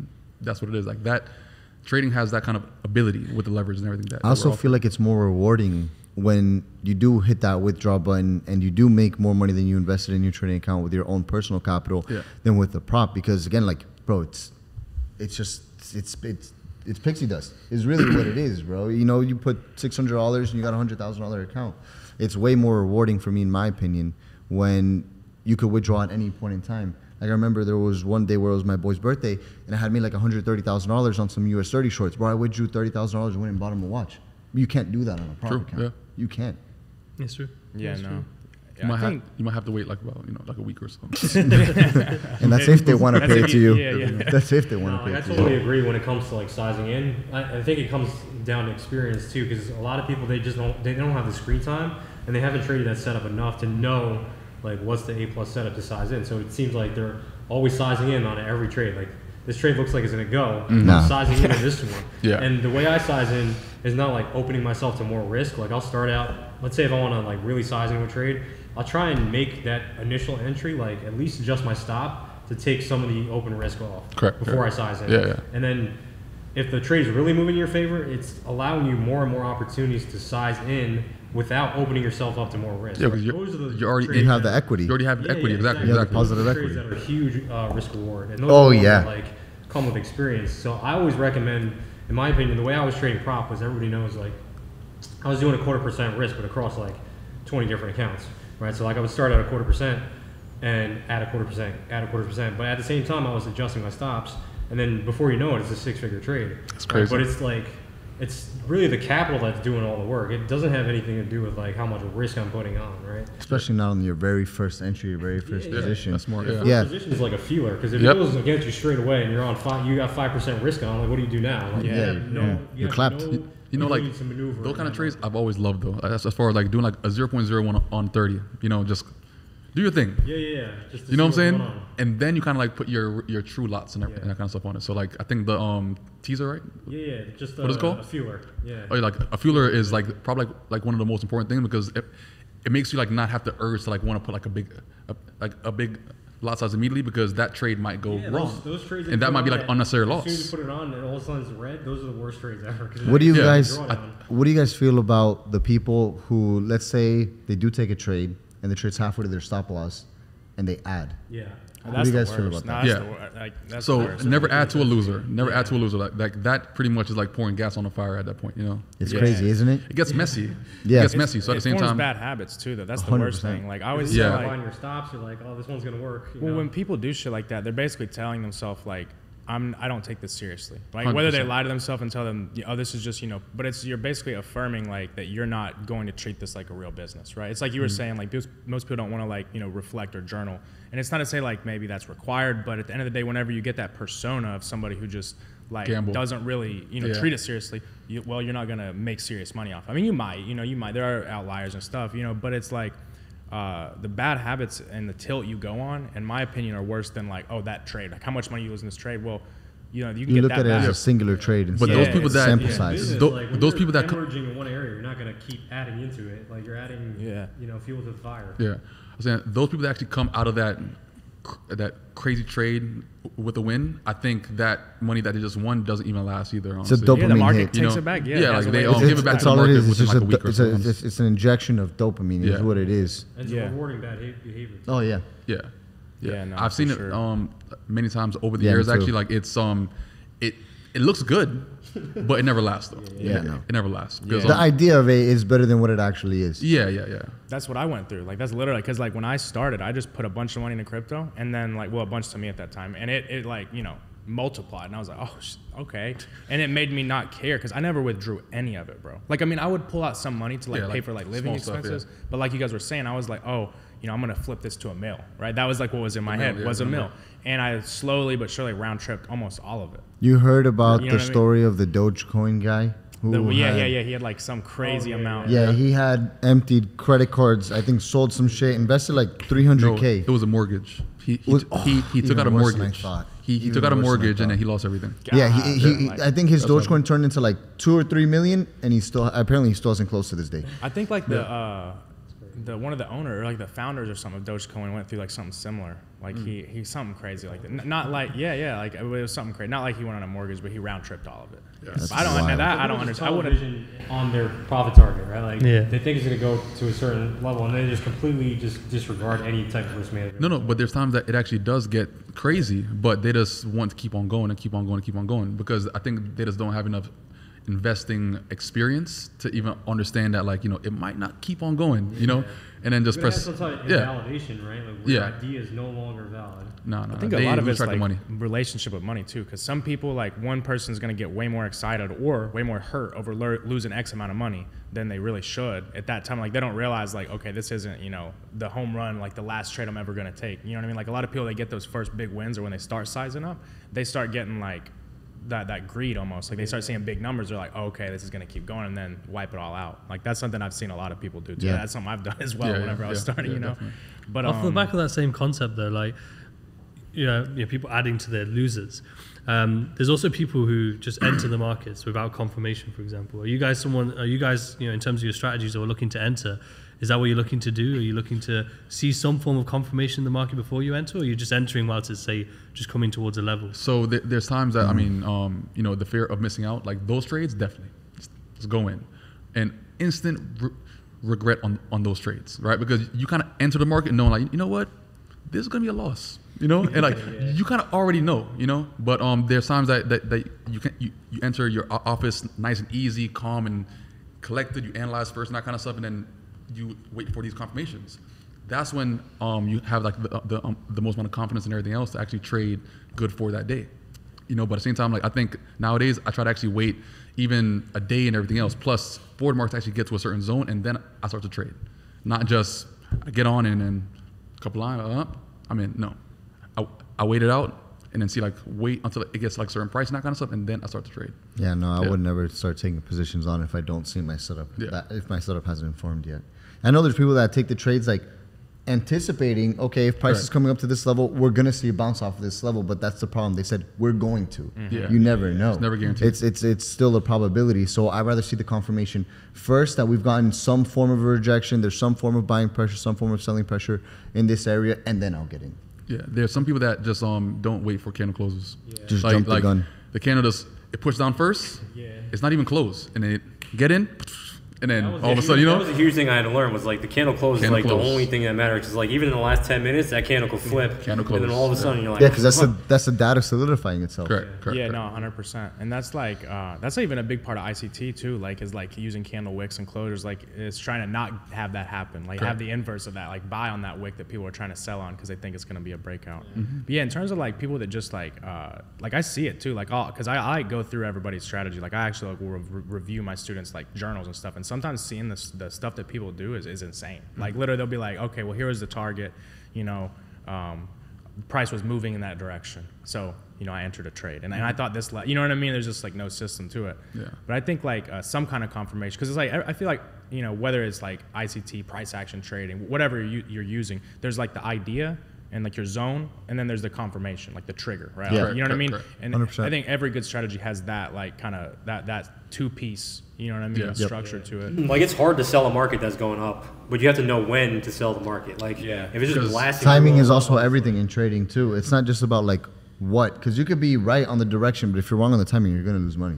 I mean, to sell the market while it's going up at times, like if you think about it, like you're one person going like, going against an entire army. Mm-hmm. You know, it's, it's kind of crazy. You know, so People I think um because man. no, but people are, are just trying to an- anticipate something that that's not there. Yeah, yeah. Yep. You know what I'm saying? Like they, they want it to be there, but at the same time, like they might You have to know wait like what- another. what the Especially looks the when futures going up. market, Like, too. You gotta turn around a little bit. You know what I mean? Yeah, but futures but, but even that, now it's better to, to like wait for confirmation on like a bigger time from like H4 or daily and that kind of stuff before you say, you know what, it's valid. Because if it's trying to, to um turn around on the five or, or like the 15, it's not really enough data to even like say that it's ready to even turn around yet. You know, Yeah, but some people by actually get day, just close. yeah, and then opposite direction. all of a Yeah. sudden shoot right- shoot. Yeah. Yeah, people try Right to back confirm up. a daily level with like a five minute chart. It's like you're Yeah, skipping no, a you can't there, compare. bud. You know You what I can't mean? compare. It looks Yeah. tempting, but it, but it's not worth it. looking at the bid ask line and figuring out like, all right, if I enter the position, what's my entry going to look like? And Yeah. like when it comes to FOMO, like when that market is just plummeting and you want to enter position, it's like, well, that entry actually looks terrible when you go back and look at it. You're like, Yeah. why am I in this trade right now? yeah, because um like even like at one point like um you know I think it was the market maker method that there was like um three pushes and then drop. Listen, like when, like when people were so stuck on like that theory, I've seen people um enter the uh, market on that third push. All of a sudden, it's gonna push for, for like another two months. Yeah. you know because they were so like like yo it has, it has to go down. It doesn't really have to, to do anything actually. You know. Yeah, yeah, yeah. When you And start then- imposing rule on the markets, you're gonna get very humble. And very even when you yeah, do yeah. everything right, you still can get wrong all the time. You know Yeah, what I mean? yeah, Like that's the Yeah. thing Yeah, too. yeah, Even yeah. with confirmation, like and that's where people like start market- strategy hopping too, because they're like, bro, this shit doesn't, It doesn't work. work. Yeah. You could wait for every single confirmation you have written out on your checklist, and there's gonna be times where it still doesn't work. You could lose a whole week doing that. And I think people know have the There's that problem like accepting markets that. can remain irrational longer than you can remain solvent. Hundred percent. yeah, that's- that's and, for and, and do you have enough money Yeah. left in your account when it's ready? You know, that's the thing. You just gotta survive those losing streaks. Is really what it comes down to. At the end of the day, making sure your wins are way bigger than what your losses actually are, and don't and make sure your losses don't spin out of control. Yeah, no, cutting risk and drawdown for me is like huge. I, I, I started doing that actually. I can't remember who originally told me to do that, but like if and it's not even just like starting account balance. It's like whatever I started that month with. You know what I mean? And that will that's helped me like avoid so many loser streaks. Like where like yeah, I went on a, like last August I went on a loser streak where I lost like 12 trades in a row, mm-hmm. right? But it really didn't hurt that bad. Like it hurt more just like mentally. Like oh like you know what I mean? Like wasn't even really the money at that point. It was just like not wanting to be wrong. it was small trades or something. Or? Yeah, no, I mean they were. I mean it, the money hurt. You know what I'm saying? Like, but it wasn't. That wasn't the worst part of it, so to speak. It was more like, damn, like that's the worst losing streak I've been on. But since I was cutting my risk, it, it really wasn't that big of a deal. Like, you know what I mean? Like, I mean it still sucked, but Some you know, people get frustrated on like that third or fourth loss and then size up. You know what I mean? Yeah. And then their equity curve just steepens and it gets sharper on the de- on the decline. Decline, yeah, it's yeah. like yeah, if you're on a losing streak, you just get hit, hit a base hit. You know what Yeah. I mean? Yeah. And I go back to this like low R, but then after that, literally, like I kind of got back in the flow of it and I had my best month after that. So it was just like you know. Um, but I think that the reason I was able to do that is 'cause I kept my mind right. Like I wasn't Yeah. like, you know what I mean? If I would have had a Irrational. huge financial loss, I would have just, Yeah. damn, like, you know, you just erase so much. But if it's not, you know, nothing that you can't come back from, How often have you guys seen that, like in your journeys, where you've had like a, a bad losing streak, but then actually had one of the best ones, you know, best winning ones afterwards? Pretty often. Yeah, I Or It's always, versa. yeah, it's It definitely always happens actually. that, yeah. I think like like probably like like my like my most delusional moment. I'm pretty sure you guys had, had, had this at one point in time also. Like my like, like my most delusional moment was probably back in 2015. I'm on, I'm on the couch, right? I know my credit card number by heart. That's dangerous. It is a start. on- yeah, right. And then um, yeah. So like I had like a 3K account, right? Um, and then pretty much, I want actually a thousand dollar account. I was trading and that kind of stuff. Um, I took a huge hit. I, I, blew the account in like about I think a couple days and everything, right? I was, that's like th- that time period where I'm on the couch for days and days and days studying that kind of stuff, right? All of a sudden that account is blown. I log I log back onto the um, account. I load up another thousand dollars, right? My, my, my bank holds it. I call the bank real quick. I I do everything. deposit. All of a sudden, deposit again, blown again. Oh, I do that about like three, four times actually before I have to sit back like, hold on, wait, what the fuck am I doing right now? You're taking control of, bro. Yo, like, like- it does that, bro. It's it was like a, possessed. I was delusional. Like Yeah. I, I didn't know what was going on, but like it took me to like lose that much money at that sh- short amount of time to even think like, yo, like like this can get crazy real quick, actually. You know. Yeah, man. But like no um, respect for the risk, right? None. Like, and you probably None. know just Yeah. from being like in the prop space. I mean, there's people that have lost like hundred accounts before they even passed. Yeah, one. yeah, yeah, To yeah. me, That's that's insane. crazy. Yeah. You blow So- challenge after challenge after challenge after challenge after Yeah. challenge.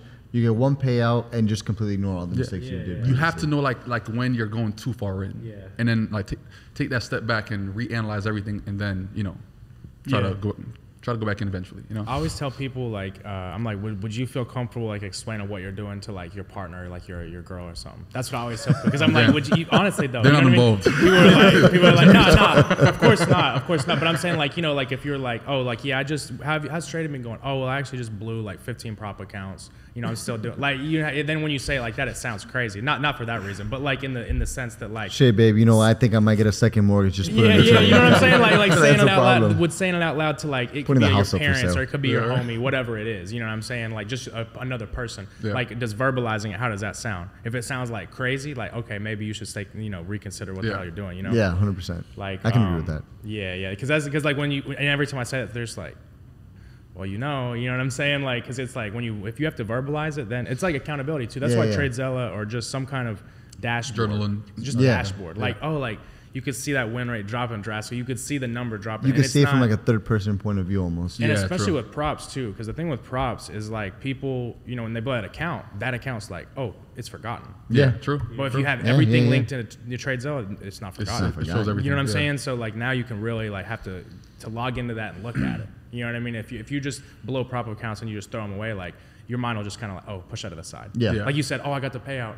Yeah, yeah. 'cause Rich, post it up. that's Post the it the thing. payout. that- that's the thing, bro. It's like that's also what's dangerous too, is because like, bro, you could blow like a thousand, or I don't want to say a thousand. Let's, let's be more realistic. You could blow five 1K accounts, right? Trying to flip it. Then you actually flip five thousand to ten thousand, and you completely forget about why you even blew those first accounts to begin with, and that's what's dangerous. And people could get stuck in that cycle because now you've blown that 10k account, and you haven't even taken one single withdrawal. It's like mm-hmm. a combination of so many different things, and so many different people are going to find themselves in so many different situations. You have to analyze your situation and how you can improve. And again, the only way to do that is through self accountability. Mm-hmm. Mm-hmm. Yeah. yeah, no, hundred percent, bro. Hundred percent. I think you have to um have that time period to just like sit back and reflect and understand like what the hell is going on.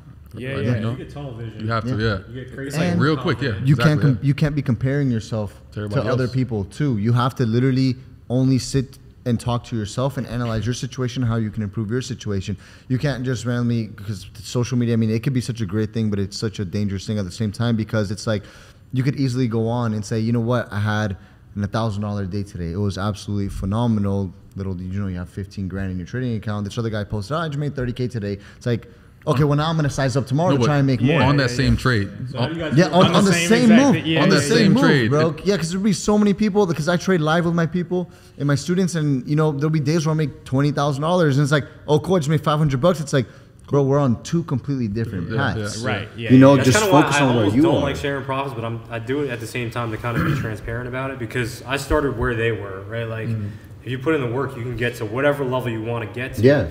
It's just like, it's kind of hard to balance that out. And obviously, like, there's always going to be haters out there. Like, I don't even sell a product right now, and people are calling me a scammer. It's like, I don't No, no, But. I feel like that's Hey, just. I no, no, feel no, like, no, no, no, no, no. People are I'll speak for everybody.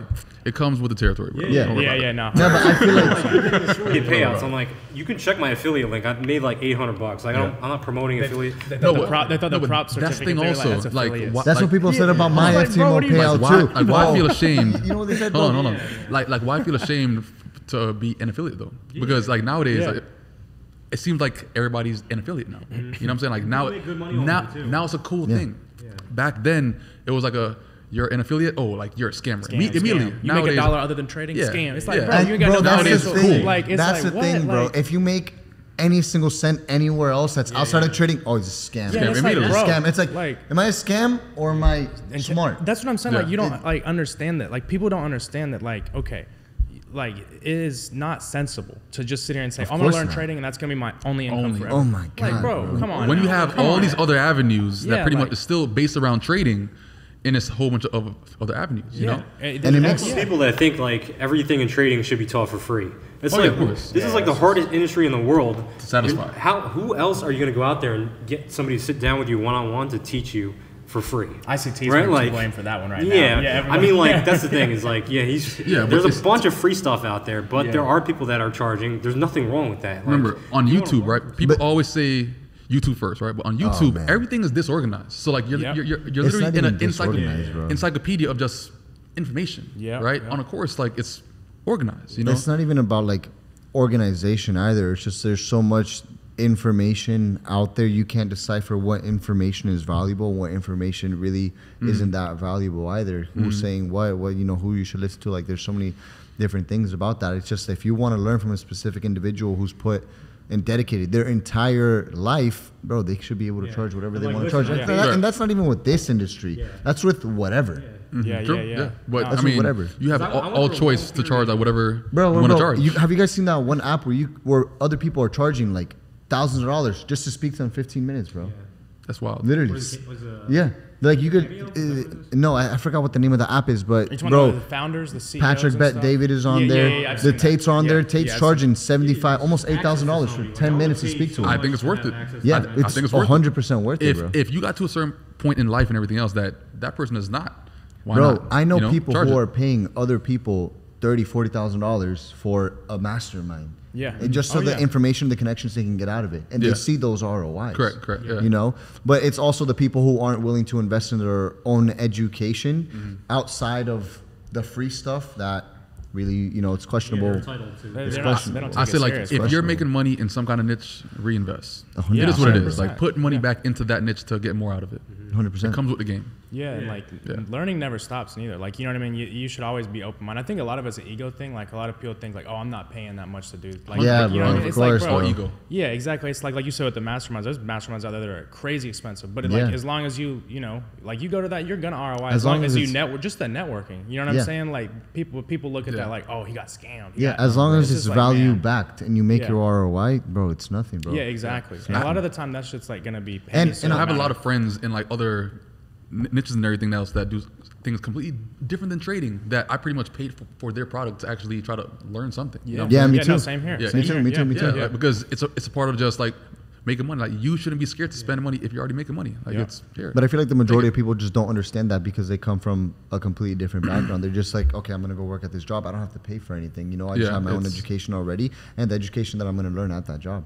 Versus when you want to network and not even just about networking. So when you want to learn, like for me personally, bro, I have no problem going and investing in anything else that's gonna give me value. Yeah. I have zero problem doing it because I know I'm gonna get my ROI. Especially- I think everybody should yeah. want to do that too. Like Yeah. you know, with trading, it's like you know that it's like you know, just like props could be a tool to trading. Well, trading is a tool to life to like start other businesses and like you know just expand it and really get you know. Uh, just get your feet wet in other avenues. You know Yeah, what I mean? correct. Like, but but yeah, so many people always think it's if you if you make any other penny than trading, like scam, scam. It's just Yeah. Yeah, like but you you want to to- have a mentor because like I went through like kind of something what you went through that learning period where I was just stuck learning because I didn't know who to learn from. Mm-hmm. I couldn't tell if this guy was real, this guy was real. But if you do find somebody that you resonate with, that's all that matters. Like Yeah, exactly. like professional uh, sports coaches, some of them don't play professionally. That doesn't make them a bad coach. You know what I mean? no, like they're yeah. just I good agree at you educating. 100%. don't have to be a good trader Scammer. to They teach people. yeah. Like it's just part of the game. Like you don't have to be, uh, you know. I mean, even the psychology guys, like the top psychologists in the in the trading space, they're not traders, but they're helping people on a massive level. Like there's huge value there, and it doesn't matter if they're like showing you verified track records, this Yeah, or that. Like it doesn't mean anything at the end of the day. If you're getting results from that person, like that's all that matters, right? Yeah, the- and if the you experience ROI. counts. Mm-hmm. Yeah, Freddie Roach, like he he literally tried to box and couldn't box, and he ended up being like the greatest boxing Yeah, coach yeah, of all time. That's why he Yeah, yeah, that's why he stopped. He literally couldn't fight. Like he just sucked. Like genuine. Like he just not not that he sucked. Not saying that Didn't have like the build but like but like you know yeah, but he just wasn't. It wasn't it. But he loved the game. You know what I mean? Yeah, but So there's also so many stories way. that are like that too. How Yeah. many coaches are there that don't actually work in the field that they're teaching in? Yeah. We Yeah, just get a that's bad we just get a bad stigma though in the trading industry. It's because it's like- trading, bro. Yeah, yeah. But it's also yeah. probably the same thing with people who do sports bets and things along those lines. Yeah, Anything yeah. dealing with like a vast amount of money to be made in a, sh- a short amount of time, yeah, it's definitely gonna have uh, like a like bad feedback from every every single person that doesn't even know about it. I just know? think it's Yeah. the educational space nowadays. If you're charging for education, bro, people frown upon that nowadays. It doesn't matter Yeah. what industry you're in. Yeah. Obviously, trading is one thing because I feel like a lot of people just don't understand what trading actually is and that it's more than 100% possible. Only the traders understand that it's more than 100% possible. Look, like my ROI on like trading education is way higher than traditional education. Exactly. Like Yeah, dude. ten Oh, times yeah. over. Of course. you could pay for a college class that, that costs the same amount a- Yeah. as a course, and you're making more money from the course by the end of the next month and everything else than you will ever make in, in like a, a college class in some kind of way. Yeah, no. You got to pretty much ar- complete four years to even like make that one class Not even that. valuable in Two some years kind of of way. straight. I know. I, I You know? not even Yeah. that. I know you guys been asked this one question too. It's like, all right, well, if you make money trading, why do you have an educational program? Yeah, it's that's- like, it's stupid. It's first of all, that's a ridiculous question. Not even just that, bro. Look at Andrew Tate, bro. He sells a course for fifty bucks, bro. Fifty bucks a month, and he's a billionaire. It's from people Bracket. that haven't traded. It's from people that haven't traded full time, not, not realizing like trading doesn't take that much time. And then it's like, all right, well, what am I?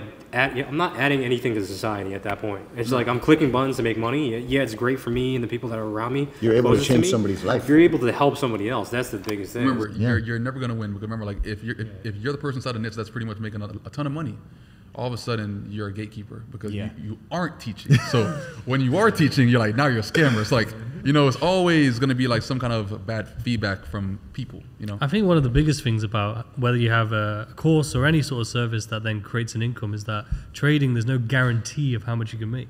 So it only makes sense to have some form of other income source that is not guaranteed either. A course but- is not guaranteed as well. That's you true, know, yeah. because if you, if you're not a good teacher, remember, like s- some people are good traders and not good teachers. Yeah, true. So, some people are good teachers and not good traders. Like same concept, right? Mm-hmm. But at the same time, like it takes a certain kind of person to, to, uh, to even become like even decent at both parties. Yeah. And once you are, I feel like then you could eat on both ends. Like Yeah, and, no. and, and that's deserve and that, that's where know? the long term sustainability is. Correct, yeah. That's why it's like when you see a lot of us who've been doing this for like a while, it's like, do you really think they would still have their teaching business and or trading if they didn't impact somebody's life in a positive way? Yeah, You didn't get positive it feels, feedback? It feels good to get that testimonial. Be like, yo, listen, like I just paid my um car bill. That's you know, what I'm that's saying the like best, I just paid Yeah. this and I just paid that. best. Yo, Yeah. I, Yeah, I helped my mother out and that yeah. kind of stuff. Like Yeah. those kind of things are are done based off of your impact that you actually offer Yeah. to that person. Yeah. You know? 100%. Yeah, no, I got one like literally yesterday. He was just like, "Yo, I, I finally made more than I made at my job this month," and that was just like a sick one because it's like obviously it ain't the biggest amount of money, but he just started trading like three or four months ago. That shit, that seeing that kind of shit is dope, man. Remember, it's You never what I mean? about the big money, bro. It's about it's- the, yeah, it's about the small things. Even like paying like a phone bill, even Yeah. paying like a light bill. Like Yeah. it starts with those small bills first, and then eventually comes to a point that you can actually afford to pay more things Yeah. based Yeah. on that that one source. So it's Yeah. never about the. Remember, like people lost track of what is money because er- everybody's making like a a four like a a four figure day, five figure day, six k. You know what I'm saying? Like that. that kind Yeah, of it's, stuff. it's, it's kind of easy now like too with it's uh, they're the losing props. track of like what a dollar means anymore. Yeah. you know what Yeah, I'm no, saying? yeah, for sure, because bro. No, it's easy to- just hand it yeah, for free. And to make three hundred dollars a day is still a lot of money. Like when you, you, you add it up, you Yeah, know, yeah, when you really it and vice versa, and perspective. that, that kind of stuff. But I think like people like lose track of like what a dollar means because the money comes so fast. Yeah, no. Well, You know? then that, at that point, it really becomes just like a number on the screen, right? It is, it is. So that's when they like have disrespect for the risk level too, and they could just lose their entire But whatever they worked up for. That's why I get It's a grind. mad at myself. Like if, if I have like like a bad trade, you know, like because that could have been like a vacation. Mm-hmm. That's That- how I that could have been a car payment, I or always that could have been like a car, some, some, some, some car parts, some, some new wheels, some, a new turbo kit or some shit. Yeah, I don't I'm- know. I'm but at the same time, like like things that I'm into, like those. But that kind of keeps you in check though, Yeah, like it does. understanding like, all right, I lost that money, like that could have, you know, me taking that bad trade could have paid for something. Yeah, yeah. A lot of people don't look I think like I think like have to. I think like it's already when you're like at a certain point in your trading career, you think about it that way. It's like, oh damn, you know, I, this would have paid for all of this. I would have been good for well, because you take it seriously now, Yeah. you know. Yeah. But Yeah. I also um, noticed that like whenever I, I have like some things that I'm working towards on like my whiteboard, I trade a lot better because now um, if I'm up like let's say like hundred thousand dollars, right? I'm not trying to aim for 150 now because I'm, I'm, I'm like, you know what, 100k could, could, could pay for this, this, or this. All right, you know what? Close. Fuck that. You know, mark it off the list. If I, if I don't have anything on the board, all of a sudden, you know what? Yeah, yeah, Fuck it. it 150. Yeah. You know what? 200. Whatever. Let, us do it because at that point it, it gets kind of crazy because now, let's say if I'm up 200 and now I close at 110. I gave away 90. Like, what the fuck, you know? Yeah. So it makes you a bit more disciplined That with, with, a lot, with having goals in mind while you're trading because you kind of like understand like what you're trying to aim for. You know. Yeah. No. Yeah. You always got to work backwards. Like I always tell people too. Like when they're first starting, they'll say like, "I'm like, what's your goal?" Like always, it's kind of like a trick question. People always say something crazy. Help like my mom out, that kind of stuff. yeah, well, yeah. Like, I want to retire my parents. I want to, you know, uh, quit my job. I want to make X amount of money. I'm like, bro, you, you got to set the goal to just like just Make a hundred dollars. Yeah, like that's what I'm saying. You're jumping way past. You know I what have mean? an issue with that though. Well, you no, hear, hear me out. Let me finish Huh? though. You got it. You got to work. You got to work backwards from a big goal, but you have to break it down into like realistic milestones. You know what I'm saying? Yeah. Like for somebody just to come in and be like, okay, well, I'm gonna make a million. Kind of like we were saying earlier. Anything that's like against a threat against that is going to it's gonna derail somebody because they're not not. making enough progress. Yeah, because they're seeing other people make uh, big money, and then they're just not really. They feel like they're not on the right track, Correct. and they start making mistakes. Yeah. But So I said that I have an issue with, with that one thing because I think it, it becomes so easy as far as it's, it, yeah, I would say it's it come it came it came kind of fast to retire like parents. Yeah, It no, came- yeah. It came, it, it came kind of fast to um, get like that car that you know we we've always wanted and that kind of stuff. Like those kind of goals get knocked off very very quickly. Oh, 100 percent. Once you get going, for sure. Then what? Yeah. Oh yeah, you gotta. I mean, you know what I'm saying? Like what happens after all those key things are marked off? to me it's like the lifestyle but it's like the, it's just like who you are like at the end of the day like you know you could get whatever you want done like take care of parents do all this stuff and then it's just more about the drive and about about the game and Yeah, like, what's gonna feed That- you- that's that's what it is about No, but like what's feeding you after tho- those things are marked off? Because like your Yeah. parents are good, you have money out of the bank, Yeah, like no. your kids are good, you have, you have the house that you want, the car that you want. Like For what's me, next? it's like- just bro. part of the game is like just to constantly level up, right? Because like once Yeah. you have that, That's that thing, big though, like- day, it's like, all right, well, that was pretty easy. But does it have to always be a level up 24 seven though? No, Like, no, It- no. it's That's just not what- life it's just a life I, man I think it's more just at that point you're making impact on everybody else, or like you're you're maintaining. Like I feel like it's a it's a bad habit to always feel like you have to level up, level up, level up, level up. It is. It's it's it's annoying. You know what I'm saying? Because mm-hmm. it comes to a point that you're satisfied also. well, I think when you once you're financially free, it's like I feel like it's just a rabbit that's hole. like that's like the most where most people want to get to financially free. Yeah. A lot of people don't need a lot to get that. You know what I mean? Exactly. Like you don't need a lot to get there. Yeah.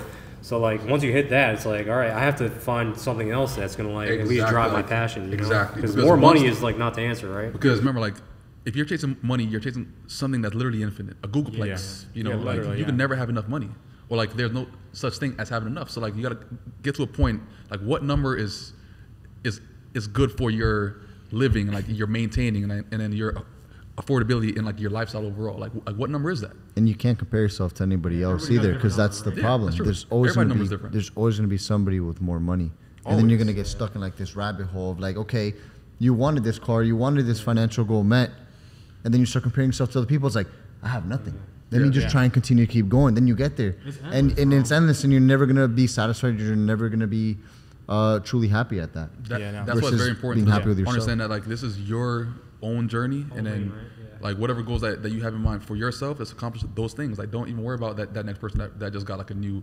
Lamborghini. You, you just got a brand new Honda. You know what I'm saying? Like celebrate that, enjoy that. You know, because at the same time, like you might at, uh, lose track of like the enjoyment of Yeah. that goal. You know, I used to work at like a private uh, gated golf community, and there was like really high net worth clients there. And the one guy that was worth like 300 mil was like complaining about, uh, like they were complaining to the people that were like on site or whatever. Like you guys treat your wealthier clients better than me. This guy's worth 300 mil, mind you. He's talking about like the guy that's worth a billion. oh shit. I'm like, bro, you're you are ultra rich. First of all, it's like you're really comp- comparing yourself to the guy that has a billion. Like, Remember, it's all yeah, th- yeah, it's all perspective, right? yeah no yeah no I yeah. think what- it's an ego thing yeah. One thing that you guys touched on there, which I think is interesting, and I think uh, you know, a lot of people might be listening and be like, "Yeah, it's easy to say because you guys have money now and you're profitable, etc." But like, what was the reality for you guys when you had like that first big win, that first big amount of money? You know, after chasing it for so long. Because I remember with me, I felt so flat. Yeah. Like I didn't. Yeah. I thought like my life was gonna change. Yeah. And I just felt so flat, and I was so confused. So what was that like for you guys? So for for me, um, like it was when I had made like my like my first 30k week back in uh, October, no, November 2016. 30k week in in one week off of uh, I think a 3k account, one week, 30k. It was on UJ H4 time frame, head and shoulder pattern, crazy bullish move, insane. All right, I think I think I had, had about like 10 lots in total, all all standards. I scaled in overtime, 30k in a week, insane. I withdrew that, put it in in Bitcoin and everything. At the time, I had 56 Bitcoin at the time. Actually, it was fucking crazy. I withdrew it to my bank account. In, instant regret, by the way. But I felt at whole because now I had enough money in my bank account to kind of like not have to worry about bills for the next mm-hmm. year. You know what I'm saying? So like that part was actually good. Um, everything else was kind of normal again. You know, it was all normal, but like I had one less thing to worry about, which was the um, bills and everything. So I had more time to actually focus on the craft for that next year to kind of like just get better and not have to stress about bills and everything. So t- to me, it felt good, but l- less stress. Like money wasn't even like a thing that I was worried about for that next year. No, I can definitely uh, agree with that too. To me, it would be more like I would set a financial goal. Say I would say, okay, I want to make my first ten thousand dollars. Once I were to get there, I'd feel satisfied because I know, like, okay, well, I can cover this, this, this, and that for the next X amount of time. Yeah. Then it's the same thing, but once I already had it, it's like, all right, on to the next. You know, now I want 100k, and then from 100k went to a million, and then so on and so forth. But it's like, once you accomplish it, after five minutes, bro, things go back to normal. Yeah. especially in trading. Yeah. Because the money's coming fast. Because you know you just made this, but that that person just made that. So at the same time, you kind of know that yo, there's still more money out there, or that move could have been milked a little bit more and that kind of stuff. You know. So like, I think trading is like one game that always keeps you hungry because you're never ever gonna get satisfied knowing that there's more moves that you could have caught if your comprehension level was just a bit more in tune. You know, mm-hmm. because you could have probably caught one entry, but th- but that person caught three. Like how the hell did that person catch three now? So so tr- trying to figure that part out, knowing that you could actually been better on that move, you're always gonna be in tune with, with wanting to actually get better with with um, trading in some kind of way. Yeah, I don't think uh, it's like a whole like a money thing. You know, I feel like just having more money just allows you to have Less stress. yeah less stress too, but you're able to go through life and experience whatever you want whenever you want without having to be locked in or tied into anything you can really just live life on your own terms. I think just like the experiences you can get out of life because of the financial leverage that you have really is the ultimate goal for anybody because materialism is it's all bullshit really at the end of the day. When you die you're not going to take nothing with it. But what they're going to be talking about in your funeral is like oh you know you guys remember when we all went and did this this this this this and that? Mm-hmm, yeah. i feel like that's what's more important out of life than okay like i made my first million dollars like that's it. What are they going to say? Oh he died he had a million dollars in his checking account but fuck was he doing with his life? You know what i'm saying? 'Cause you'd be surprised at the amount of people that have tens of millions of dollars and you would never know. You would never know versus the people that do do that and they take their entire family on a vacation.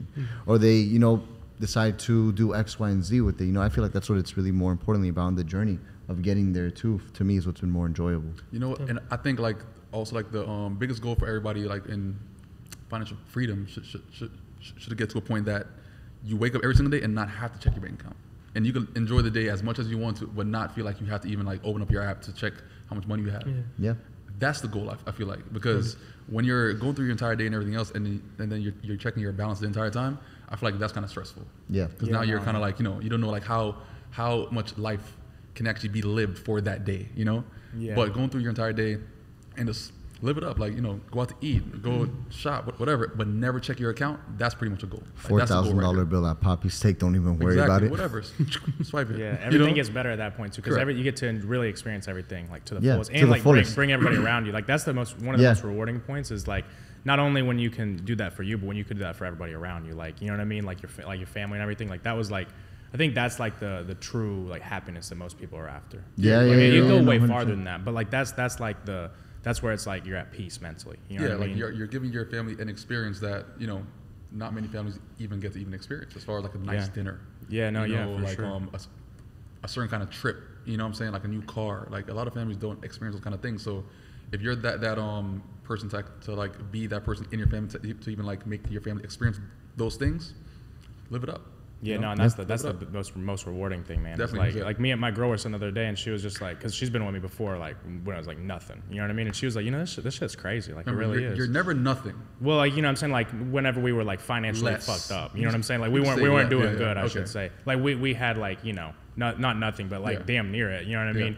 Um, but yeah, it's just crazy. Like you always reflect back and like that, it's like it it really is crazy to look back how far you've came because like journey. you said you- like you, you made a good point. It's like, okay, what next? Like you always, there's always the, the next thing. You know what I mean? And if you get stuck in that loop, you don't really enjoy, what you it, have and be grateful. And like what's what we were talking about over there, um, it's like, what are you working for? yeah It's like, okay, if you're just work, work, work all the time and you always have like the next thing, the next hustle, like the next goal, it's just like you're never really enjoying the one you already hit or the last 10 you already hit. correct correct Yeah. correct You know, yeah. you got to take time to reflect on that. You so, have to yeah enjoy that yeah, you know no, 100%. Uh, I guess for me, like I try not to celebrate the highs too much. And I actually I messaged you, bro, because we played golf right before. Uh, like I had my first six-figure trade, and you were like, "Why don't you just hold it a little bit longer?" So the next trade, like it was uh, literally on the last day of the trading year last year. Hit my first six-figure trade, message you, and it's like it was great, you know, like just having that accomplishment because that's something I've always tried to get towards is having like that first 10k month. The first 10k month was like, all right, this is feasible for me to actually think about leaving my job, right? So that's like a stepping stone, and then you just keep hitting those milestones. It's the same thing with getting a promotion at your job. It's like you, you could celebrate for a little bit, but if you haven't hit that overall goal, it's like you shouldn't be celebrating it as like the end goal, right? Because at the end of the day, it's like, all right, I still have work to do. I think y- y- like the celebration is very important though. Like even if it's small and everything else, I think it's I just got a dinner with my wife or something. is, is to celebrate every single step because you don't know when you're, you're gonna fall off. You know what I'm saying? Or I like, think the the better question is: Is there really an end goal? there's never is. Yeah, not and that, that's even when you, you reach that, that top goal, then you have a set of new goals. Yeah. You know, because like Yeah. I- I'm pretty sure everybody here had like a bucket list at one time, like, like when they were like Yeah. 18. All a lot of those things are marked off. Yeah. Now what? N- now you have to create a whole new list again. Mm-hmm. So Yeah. it's, it's like a, like a endless can't dwell on the past, goal. you know what I mean? Like, I know. just- Yeah. But like there, there's never ever like an end goal though. Like there's always gonna be new things, Yeah. new experiences, new new people that you want to meet and that kind of stuff. Like so, it's never ever gonna end. So I Yeah, think that's that you I should feel like also enjoy no, everything. That's why I feel like there's no end point when you hit that. Like when you hit that first that huge trade or when you leave your job, it's not like it ends there. You know what I On to the mean? It's on to the next. Yeah, exactly. Whatever it is, just life keeps moving. keep on working because and they like you know like that one six figure trade now now you can have, an, have another and another and another another it's never going to be a point that, that you're satisfied with that six Yeah. trades yeah, yeah, yeah. Because it, if The you love the 100K game day? you're Alright, going to ah, stay in the game and keep on Two trading hundred k day now. oh yeah exactly exactly Yeah. But I think I'm gonna. I would probably have the same emotional like impact from a 200k day as I did the 100k day. You know what I mean? Yeah. same thing bro Yeah, yeah. They're Yeah. Yeah. 200 300 400,000 it's all the That's what I feel like. A lot of people are chasing that feeling. It's like I want to hit that huge trade, and then when you hit it, it's like, all right, well, gone. yeah, exactly. once you press X that moment is very fleeting. yeah yeah, yeah. Yeah, yeah. Yeah, no, like, and I, uh, whenever I first started, I kind of came up like rapidly, and it felt like crazy. But then once I actually started trading and was like, okay, like now I, let's see if I can consistently do it. When I finally got to the point where I could, it was almost kind of like, like what you were saying. It's like, okay, like what next? Like Yeah. that was the goal, like just to become profitable. And I was like, Okay, now okay, what? like now what? Yeah, it's almost kind of like a weird feeling. But then you you get to the point where it really is like boring. Like I always tell people, like you know, for the most part, there are definitely times where it's like you know, it, it, trading's fun and all. But at the end of the day, like trading is not like exciting. It's not as exciting as it was when you were like flipping those first accounts. Yeah, it's just yeah. not. You it- don't know what you're doing. That's what I'm saying. Like it's not. So like then you know, for me. Um, like I don't, I don't ever see myself like fully retiring. Like people like what, like you were saying, like what's the number? Like there's definitely numbers where you kind of tone back a little bit, probably. Exactly. Yep, but yep, like you're yep. never just gonna be like, all right, I'm done. Like nah, it's just Oh, not who I am. Like uh, it, like yeah. why stop Yeah, it's just like a lifestyle, no, bro. no It's- other industry is going to pay you like how trading pays you Yeah, yeah. so like yeah. you could probably You have try to almost no venture overhead. off a little bit Yeah. but you're gonna come right back to where it Yeah, all yeah, started. yeah. you know? yeah, I always look at this as like this is my active like set of streams, right? Where It's Correct. trading, but then it's like of course like you know real estate, like other passive of course, of course. things. The but, passive like stuff. there is no other active like industry where I look at where I want to spend because I used to run a trucking company, right, dude. Not a fun business to run, not a fun, exciting, you're dealing interesting. with people Yeah, and and like Yeah. uh, interesting people too. Yeah, You know what I'm saying in that industry. Um, but like uh, it was like, dude, that it was decent money. You know what I mean? Mm-hmm. But it was terrible like life. It was not like you know you're you're a slave to that business because like a lot of people think with business like oh I'm gonna be a business owner. It's like bro like 90% of businesses like you're a glorified contractor. Correct. You know what I mean? Like you're not a business owner in the sense of that term. Like oh yeah, I, it's like no no you you work for your business. You know what I mean? Yeah, but yeah. with trading, it genuinely like that, that's one of the cool things about trading is you can, like you said, you could just wake up one day, your bank account's straight. You're not really like worried about like, oh, I gotta trade this week to Yeah, to, yeah. to keep this business going. I don't. you're I gotta pay my. Trading is one thing that you don't have to rely on anybody, any type of industry, like any market, like trend or anything, to, to be able to make money. And that's like the beauty of it. You could just be solo at your desk. you could be in a corner in the dark Yeah. You be on the phone. I got off the plane the other 5K. day. Was waiting for the lift. I was literally waiting for the lift, bro. Trading on Trading View Mobile. Could be in Like, your- you know what I'm saying? Like, Yeah. that, like that's that's crazy. Like I was just like, this is cool as hell. You know, like Yeah, so like I think like once person is like is a trader and like they actually can see like what trading can actually do for a person, like Mm-hmm. at like the highest level and everything else, like you look at every other stream as decent. Yeah, You know what I'm at saying? best, at You're not gonna look yeah. at like twenty um, percent a year. That's sick. twenty percent a year. What? Yeah. That's disrespectful. You know. Yeah, yeah. So that's I, like every other industry, right? Disgusting. yeah. Well, I mean, like there are sometimes like like with real estate, it's like I look at that as kind of like the safety net, like the long, Yes, long game. yeah. So I don't even look at that. Just like a lot of people are like, oh, like the, buy, wait till the rate come rates come down, buy. And I'm like, look, I'm not trying to like get into this and flip Correct, cribs. correct, correct. I'm just like, yo, where can money go where it's not gonna just be and my forget about it. Yeah. For the- In my yeah, checking. like they're like talking about interest. I'm like, bro, I could like I'm not even planning to do anything with that money for 15, 20, 25 years. Put it over there. Yep. You know what I'm exactly, saying? Exactly. Like that's like you know that's a, but that's how you have to look at everything for what it is. Like you know you look at like your active income as active income. You're gonna put in time to that. You're gonna put in effort. Effort, yep, You're yep. gonna you know try to get leverage on that. But like then uh, everything else it's like passive. You have to treat it passive. You know what I Mm-hmm. mean? So because I, I have friends like um, like with ambition. With some people comes the desire to want to do 50 different things. Yes. You know what I mean? And then people like that, it's like you're all over the place and you're really never like putting focused effort into one thing. And that any one of those 50 things could be the thing. You know what I mean? And like, um, as soon as I realized that trading was gonna be that for me, like it just didn't make sense. Like, you know, whether it's trading or trader related business, just something in this, you know, niche that I- Field, I, yeah. yeah, you know what I mean? It's like, why venture out? Because I have people all the time, oh, let's start this, let's do this business, let's do that. And I'm just like, dude, was I'm like, good, bro. it You know sounds good, Like, but no. yeah, yeah, exactly. It's like, yeah, Yeah. I'm not like, I- and I've made that mistake before. You know what I mean? Because then you, you you go into it, and then you're like, your time is because you know everyone wants to believe that you can be like, uh, you know, maybe if you're like a silent uh, investor, yeah, it's different. That- Again, that's, That's in the yeah. passive thing. You know what I mean? But it's like if you want to go out and start all these different businesses, it starts taking away from the main one. You know what I mean? And Mm-hmm. It's just like you have. You know, people would rather have like, would you rather have five million dollar a year businesses, or would you have one ten million dollar a year business? That's true. Yeah.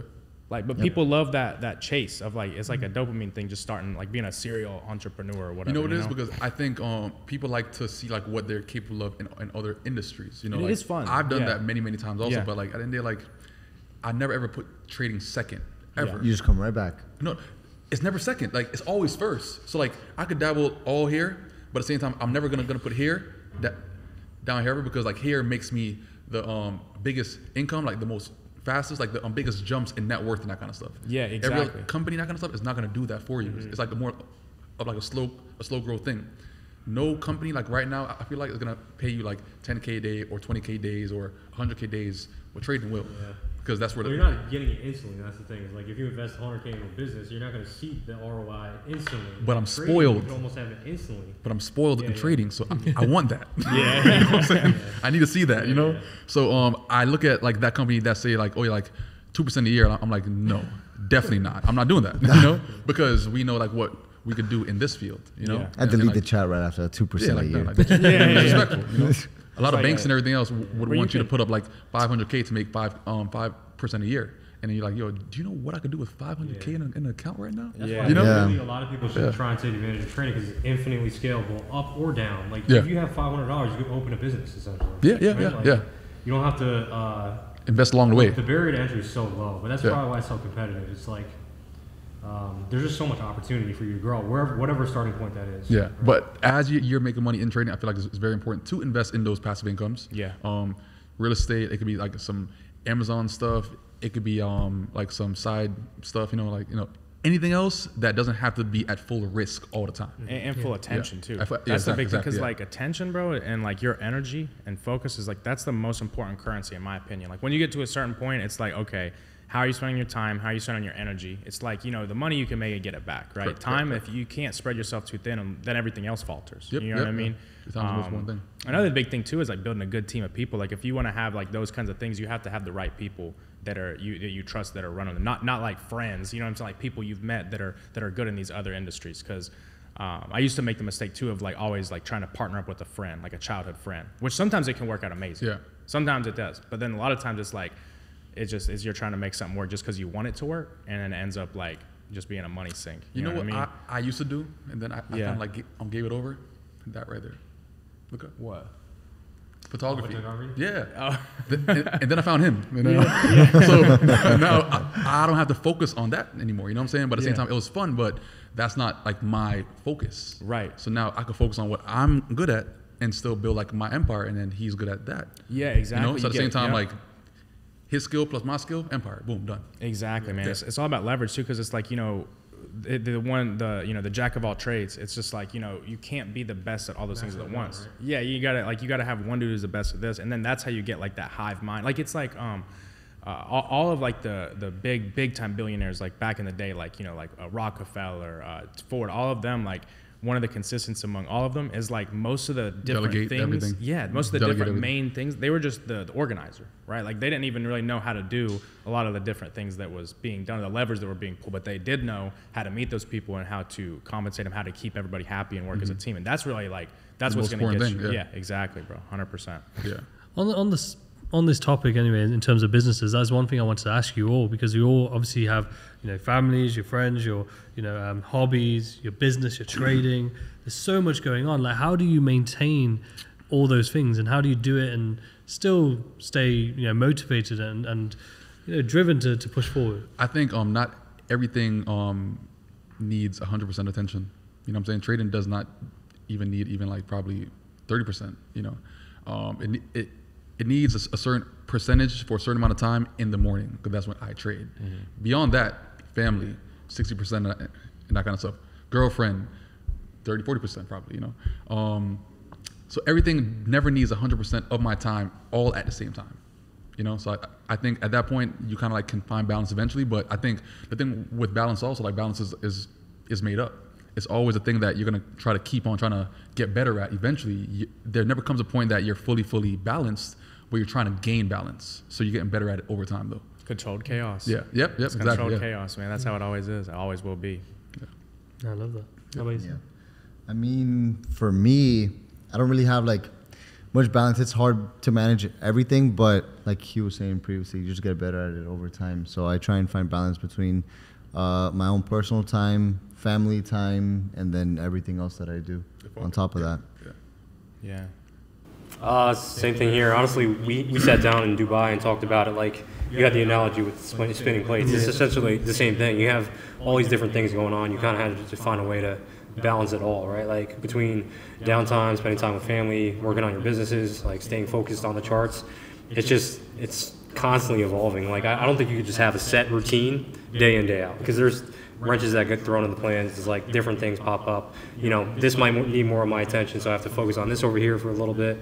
Uh, yeah, it's just you're constantly working at it. It's like never perfect. Yeah. yeah yeah that's the thing it's never perfect yeah and you have to there's there, accept that yeah like there's certain times that like um you know you're probably spending too much time on the charts um But then you're neglecting something else. Yeah, like Yeah, you yeah. know, but it comes to a point that like you, you kind of like um try to make a schedule, but you follow it for a little bit, but then you kind of like go off track and that kind of thing, and then, but then you, you get back on track and then do it all over again. It's kind of like that. Like you're always trying to actually find that balance, but eventually, you know, it comes to a point that you never ever find it, but you always work towards it. Yeah. which is which is like the most important right? thing. It's Yeah, like you Yeah. can never be perfect, but you can always strive. for it. yeah, like that's Yeah.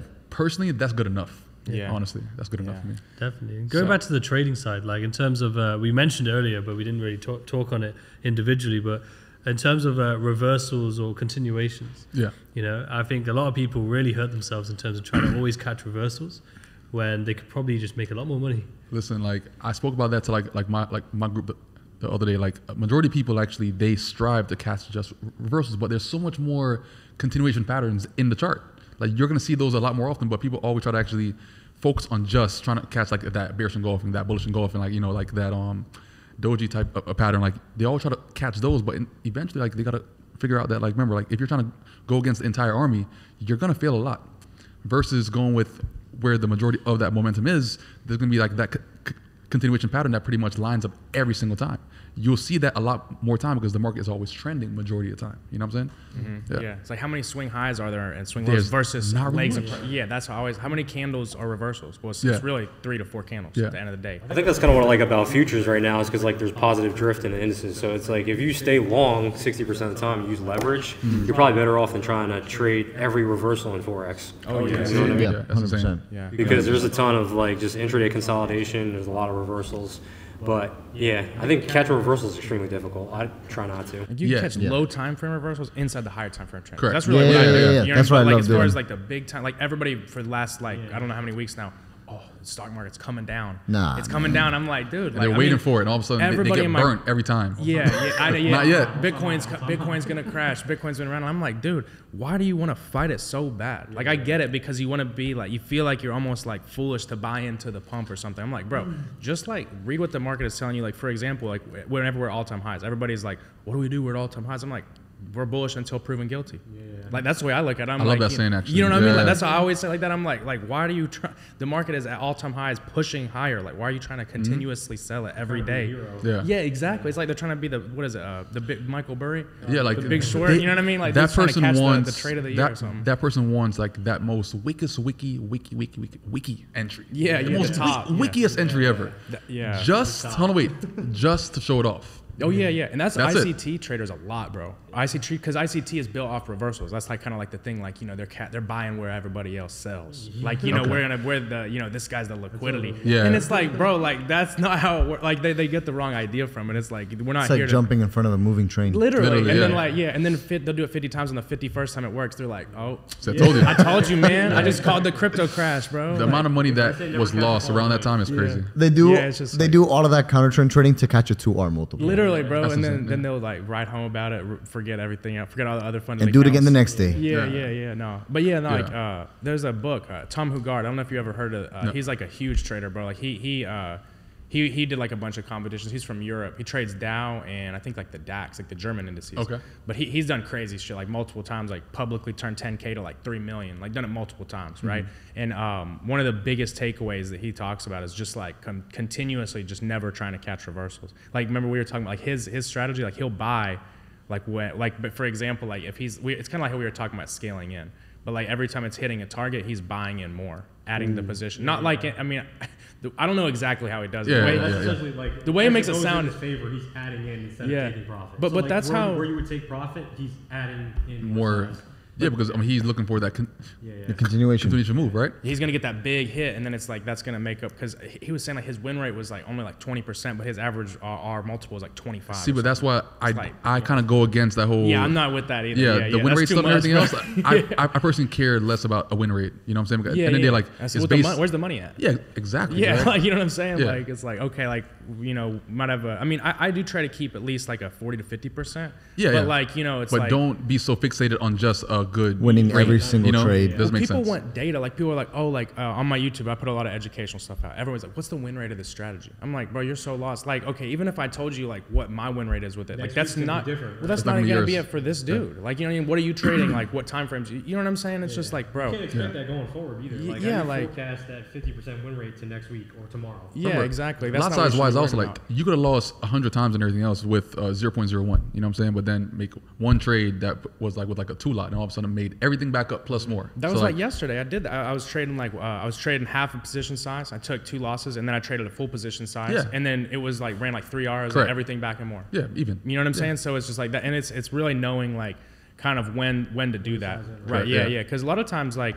kind of like what you were saying earlier, like sizing in. The only time I really like either I'll, I'll size down, but if I'm sizing into a position, I only do it whenever I'm up. I Oh, only yeah. will do that if I'm like That's what I mean. building I'll into try it. trail my, my stuff. Yeah. No, no gas on the fire. Because your risk gas is like you fire. you can maintain like the sim, same or similar risk while still scaling in heavily. You know what I'm saying? Mm-hmm. But with indices lately, man, like that's honestly been the play because everything's just been so crazy. Like really, the whole last like t- two years even. down. Like indices have been crazy, Mm-hmm. man. Like Since COVID. It's yeah, dude, indices. I- Yeah, like it's crazy. People like when y'all are trading just forex and stuff. I was like, thirty-three to like now thirty-eight thousand plus for thirty. Ridiculous.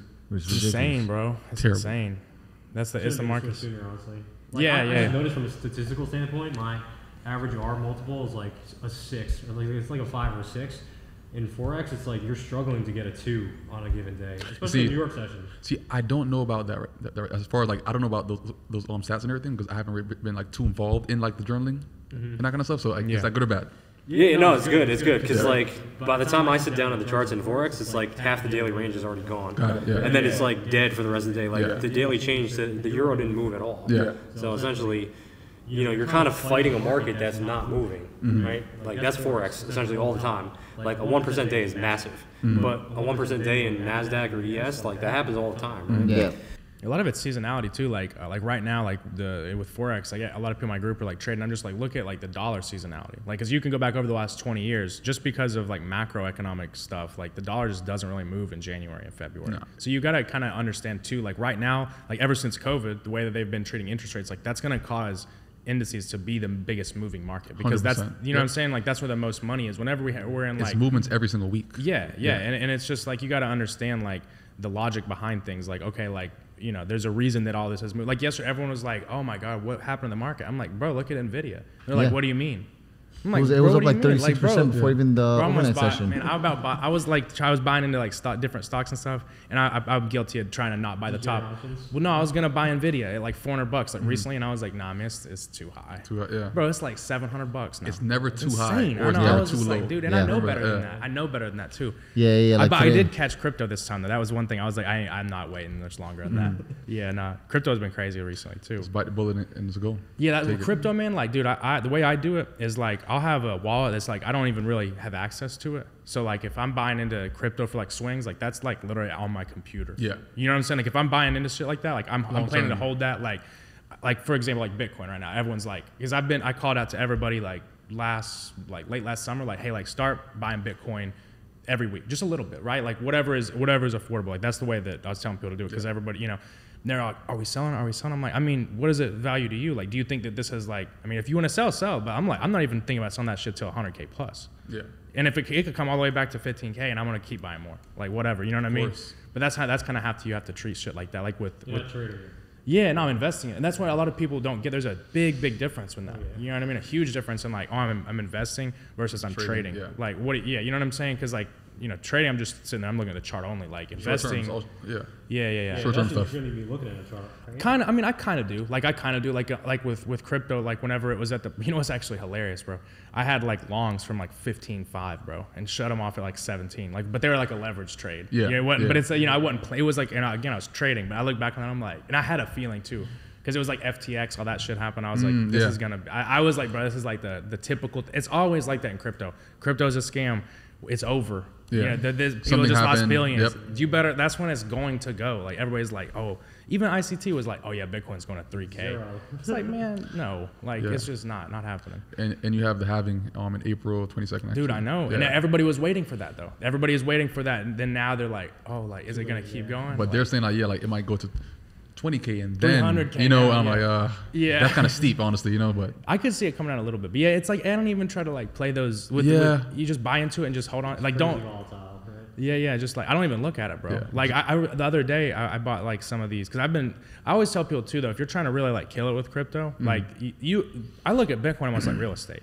Yeah. In a way, like I, I'm not really looking at that like Just oh, I'm gonna, like you might two x like that's like I mean that's that sounds like crazy. It's really not that crazy to like two x and something in some crypto. Like Mm-hmm. if you're buying other coins like the altcoins and shit, like that's where that's where you'll get those crazy like crazy returns. big jumps and everything yep yep, yep. Yeah, yeah, yeah. In like two weeks, shit'll jump like a couple hundred percent. Yep, shitty coins and, and then sell. Yeah, yeah, yeah, yeah. Quick. Yeah.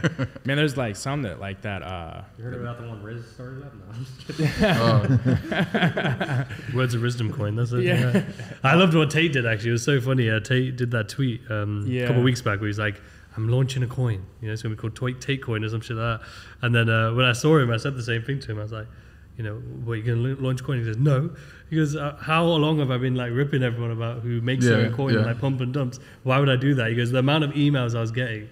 You know, the amount of Listen. emails and the amount of people believing it. Yeah, It makes money. you it know, makes money, go but it just bar. it goes my- nowhere. That shit would be done. Like the thing, the, the thing with like all the shit coins and stuff though that people don't get is like half the time they're like defi- they're they're literally designed to like rug pull. money, right? I mean, yeah, like like design like because like the way that they work, like there's like the liquidity, you know, and so like so you can buy and sell is like locked in a in a pool, right? Like it's like why the Safe Moon dudes are like getting like fucked is because it's basically like definitively they would create like a, a Ponzi scheme in a contract pretty much, but people don't even look into Yeah, that shit. yeah, They're just yeah. like it's coded in it. like Jake Paul said to buy it. Let's go. Like, oh my God, I lost 30k. Can't believe it happened. Like, you know what I'm saying? It's like, you know, like, it's not technically like, bro. it was designed that way. Like, bro, there was this coin. It was called. I'm not shitting you, bro. It was called Dink Doink or some dumb shit. And people were in my Discord. Yeah, it was, I'm not playing with you, bro. It's literally like they have like a fucking like skit video. It's like South Park, and people like had lost their ass on it and were like, "Yo, I can't believe it. I lost that." It's like, bro, what are you talking about? I know. Well, like crypto kind of really shows you, especially with the shit, name bro. of some of these altcoins. It just shows you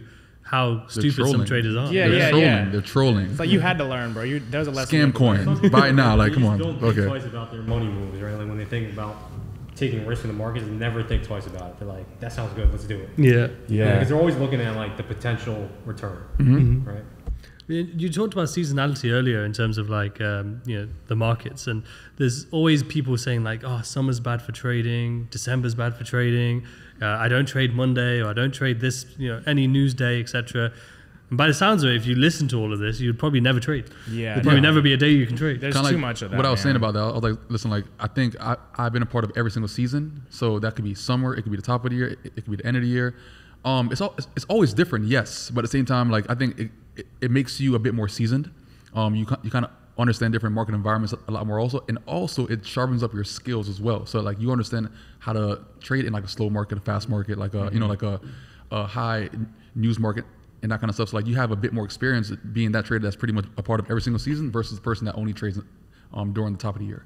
Yeah, no, know? for sure. It's all about You're missing awareness. out a lot. It's always Yeah. awareness because it's Yeah. like you know, okay, yeah, like if it's earnings season, like you know, there's gonna be like different characteristics of the market building up to that. For Just even, prep even for like it. even Yeah. every month, right? Like the the second week usually the month. Uh, The first week's NFP, second week's gonna be CPI. Correct. That's why the third week is usually, in my experience, usually the third week is gonna be like the one that's the clearest move. Cleanest, like yeah. it literally. Okay. But you know, I'm like, and, and you can tell, like, but again, it's not like, oh well, I'm not gonna trade all the other just because. It's more like, okay, well, I'm Lower kind of risk. aware of it. Yeah, you just never Lower your risk or something, bump yeah. Might happen. Like I typically don't trade heavy in December, but this December was like my best year. I mean, my best you- month yeah. ever. So it's like you kind of have to understand like what the market sentiment is. First of all, like is the Fed actually doing something to Mm-hmm. cause like volatility in the markets? And then there's times where it's just dead, where you can't get a gauge on the market. Like Mm-hmm. those slow periods happen, I would say a couple times throughout the year, but you can't you can never really like predict when exactly it's going to happen. You Correct, have to correct. understand like once it does happen, like how do I maneuver in that condition? Just Yeah. be a part of it. Just, Yeah, just, yeah. And the just worst be a thing part of people do with Yeah. with a lot of like I see like what you're talking about in ICT, they're like, yeah, like don't trade any red folder, like don't trade any day Monday. I'm Yeah, like, like bro, like like we're literally trying to day trade, bro. Like, do you want volatility or like don't trade when there is a hope to have a big range day? And it's like then you tell people that it's just like okay, like don't like put yourself in like a you know some crazy 50 Yeah. lot trade you can't be in right before NFP or something. You Yeah, know, it's that's like use ridiculous. common sense, but like you know what I mean, like. red folder news events. Yeah, I mean, like I, I trade on like that's when I want to trade, bro. If I'm looking at the week, like I always go through the group with the group I'm on Sundays. I'm like, okay, like you know, these are probably gonna be the better the better expansive Yeah. days. And You know what I mean? find, Like, FOMC continuation plays like work out so well. Like after Yep. FOMC 2 p.m. Smooth. Going into the next Yeah. night, it's like smooth. Yeah. CPI too. Not CPI is another one. Like almost always on indices recently. It's been like the flavor. The CPI will have a huge move. You'll have a consolidation in the morning. Right on like 1:30, 2 o'clock, you'll get like a sweep up back into that move, and then it'll just start going yeah. crazy. Those are like some of the best trades Yep, right there, bro. I'm telling you. Like Less so- risk too. Yeah, yeah, yeah, Yeah. literally, bro. And you you don't have It's just to. experience though, right? Like how many Yeah. FOMC events have you traded versus the guy that's like trying to hit it out of the park? Bro, I on used to- first FOMC event. on, on options, I used to have the dumbest strat. Like I, I can't remember where I learned this. It was like you buy, like if you're bullish, right? Like you could be bullish or bearish. You had like at least one way. And like let's say if you're bullish, you would buy like two. Buy stop, sell stop. No, you well, no, not, that, not, that, no, not that much, not that. But like two uh, zero day calls, buy That's two zero day calls, right on Yeah. SPY, and then like if you're like if like let's say if you're bearish, you'd buy two uh, two puts and like one two not two exactly, but two for one, right? Yeah. Basically. Oh, like a ratio. But dude, honestly, that shit actually would work if you were right half the time. But then you'd have to know when it's. But it's looking back now that like I know what I know. It's just so stupid. Like, You were a would- wild boy.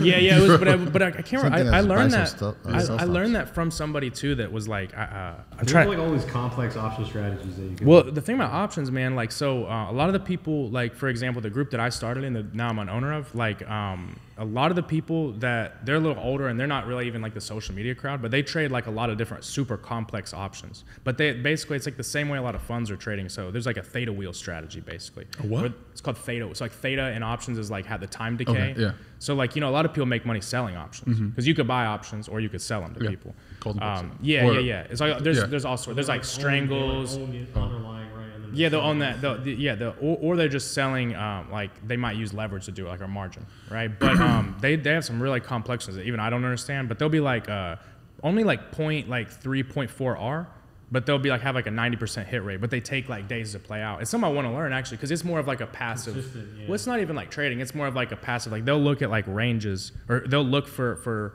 for uh, stocks that are ranging, and then but they dump heavy, like because you know the win rate's so high. Um, but they, they put way more into the into these trades. But it's something that's interesting though. But that, it just goes to show there's so many different ways you can make money off of off of trading than Yeah. just like oh yeah like you know wake up in the morning three risk to reward four extra. You know what I'm saying? Like there's so many different different angles you can take. 100%. 100%. Do any of you guys understand or, or use fundamentals in your trading, or do you just purely technical? Um, pff, very very small percentage. I might read like a couple article or two, but but but that's really about it. I'm more of a technical trader. Um, I I've found a lot of um clarity like when it came to like I have friends that do the fundamentals, so I'll probably get get their insight on certain things. But um, I think like that's like one thing that I do aspire to actually learn in the future. But technicals work great for me at the moment, so I'm not really stressing it like right now. You know. But I think it's it's a big thing that um it definitely makes a person a, a bit more profitable, but also like a bit more aware of like big news events. and Yeah, like which Yeah. one's more important? Yeah, yeah, like yeah, just really yeah. understanding um, CPI or FOMC or NFP like by the numbers, not by just speculation from the charts and everything. Yeah, and like You know? even like data. certain Yeah. FOMCs are more important. Like the one that's coming out from what I've talked to the people that are pretty knowledgeable, Yeah. like that one is like way more important Yeah, than like it's the like previous Yeah. ones. Decide yeah. Right, because like one of them could be more, way more like impactful to the market than the other. But and it's good to be aware of that. But I agree. It's like you, why why throw a curveball if you're already doing good? It's like I almost don't want to learn more sometimes about certain things. Because there's always like that. Then now you're thinking about that, yeah. and it's like why more if you, if you already know like what works for you, you have something that's Yeah. like scaled when you've refined it. I'm like. Like, uh, like Kit, I was talking to him earlier. He's like trying to tell me something. I'm like, bro, I don't even want to like look at that. I, don't want to have Yeah. this new strategy in my head that, No, that no, maybe works for you. I, I said that I have friends that do it. Yeah, yeah, yeah, yeah, yeah, yeah. Full time. Yeah, so like that's the I, way to do it. I'll buy into their program so Yeah. I, I could learn something, like the more summary from what I'm trying to actually comprehend versus me trying to actually read like an entire article to, to, to, um, to try to figure out like what's important or like what's not important. Yeah, ex- I agree 100%. You don't want to ever like pollute what, what you've got going. Yeah, works. because now all of a sudden, like I'm overcomplicating, like like like my own trading style versus just trading like how I've been trading. you know, you know? Exactly, man. And and then trying to actually do s- the small things versus trying to actually change like my entire strategy and that kind of stuff. yeah, you know? no, for sure, 100%. Yeah, I understand fundamentals, but I don't really use them too much because I, I find that they, they take a long time to play out. Like that market narrative might take three to six months to play Correct, out. yeah. It's like I'm day trading. Yeah. At They're the like end a the bias, it's like I a could trade major against bias. that. Yeah, I could trade against that narrative if I need to. Yeah. But like I never found it uh, that impactful in my trading, to be honest. So It's like a saying that, that they say um they say um get your bias fundamentally but enter technically. yeah, yeah. You know, like you can't get a, a, a good entry from just fundamentals. Mm-hmm. It's impossible because they're focused on like the bigger time frames, H4 daily, and that kind of stuff. Yeah, You know, it just takes too long. Like, Yeah. I want get in and make money and then leave. Maybe like Yeah. investing or something like oh like Yeah, you know they're Correct, getting like correct. the I feel earnings like, per share. yeah. That's I different. feel but like that's totally different though. fundamentals Again, are, yeah. are, are I think I feel like fundamentals are a necessity when you're actually investing, but from a day trading perspective, I think just with technical analysis you can get away fairly well. Correct. Like I have a general understanding of fundamental analysis, especially when it comes to days like CPI, FOMC, but I'm very heavily reliant on my technical analysis Yeah. and my trading system. technical life. Yeah, definitely. And let's move on to like some fun questions then. So, like, uh, Cue, you mentioned um, what was it bucket list earlier? Yeah, bucket so list, yeah. It'll be interesting to know like what is left on your bucket list item, and same with you, Raul, and then we'll just move around. Yeah? I mean, to be completely honest, actually, I, um, I haven't created like a new bucket list, honestly, because um, like the last bucket list I had was from like when I was 18. All those are kind of like marked off already. Um, I haven't sat down and pretty much wrote out what I want in my life now, so I'm still trying to find those, those key things and everything. So Have you done a skydive before? um, twice already. Yeah. Yeah, yeah. I've, I've done a lot of things, but um, I don't know. I'm trying to still trying to like Swim with find. sharks. Hell no, I'm not doing that. No, no, no. one. That's crazy. I wouldn't do anything nowadays that that's pretty much like would risk my life. Yeah. I feel that. I have man, too much yeah. going on Yeah. to like you know do Like, like it's not that stuff. fun, bro. Like people want to do this crazy shit, and they're like, "Come on, bro, have fun." I'm like, man, like that's just not fun. to. Like I'm not A shark to. the other day um broke in into a, a swimmer's cage. Actually, they were Yeah, yeah, yeah. underwater. Oh, I. Man, the shark died, but at the same time, like it still was in the cage. Yeah, fuck Yeah. that, bro. alright. I, I have too much going on at the moment to yeah. like you know take that kind of risk. Yeah, no, no, no. but- No ways off, bro. I wouldn't necessarily say like I have like a bucket list as like the majority of people would have a bucket list.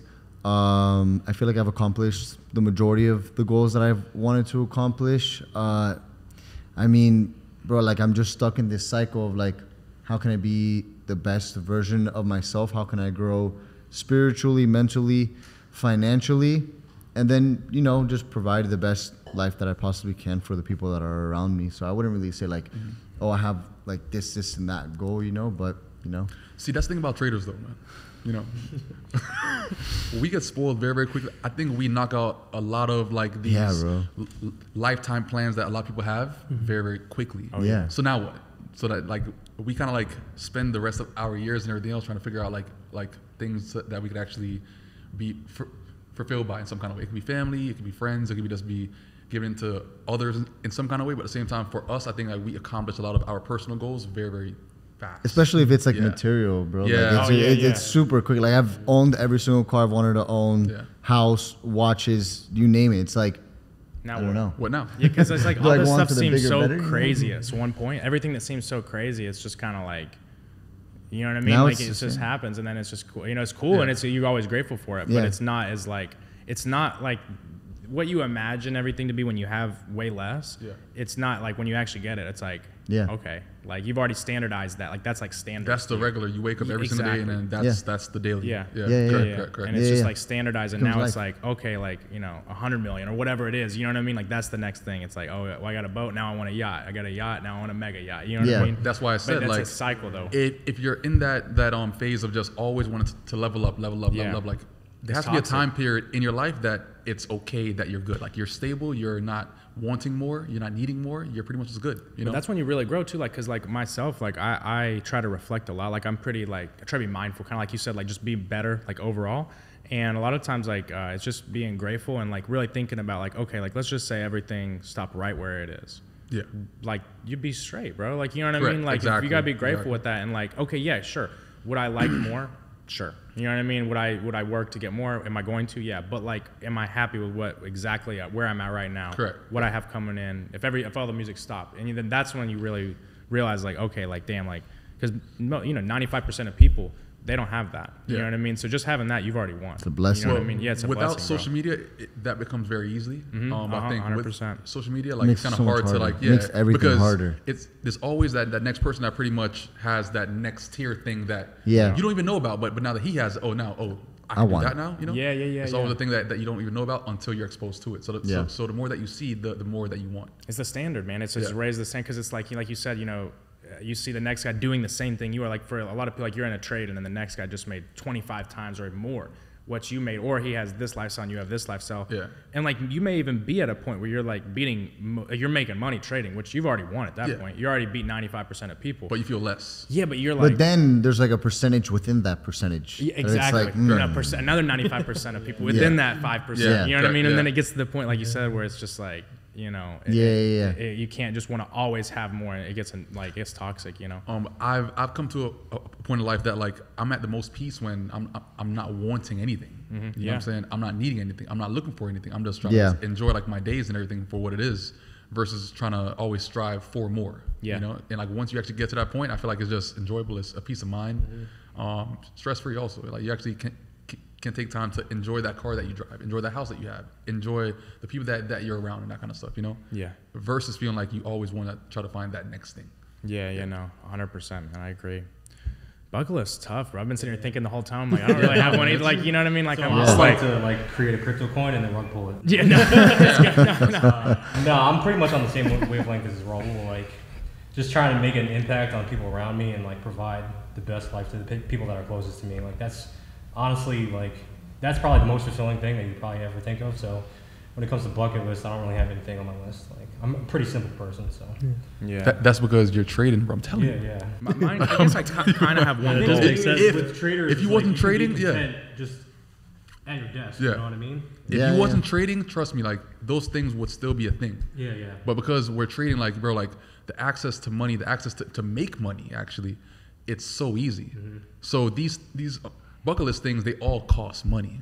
You know, what I'm saying? a lot of them do, right? Yeah. So since it's so easy for us to actually get it's that, accomplishable. it's Yeah. easy. It doesn't seem like a lot of for, so far to reach. lists, they don't have control over their time, right? So like a, somebody, if you ask somebody that works 60 to 80 hour weeks, like they're probably gonna have a bucket list because they don't have enough time to do whatever they want. right? One one But, vacation bro, we a can year. wake up and do whatever the fuck we yeah, want. Yeah, like yeah. one, like look, like the regular person has one vacation a year, or even like one vacation every two years, right?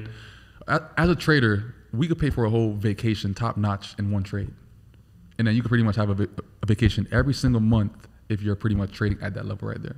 That that's the kind of access that a trader has. Mm-hmm. Yeah. You know what I'm saying? So, so I think these bucket list stuff is kind of hard to keep up with because, bro, like a bucket list every single month, maybe. You know?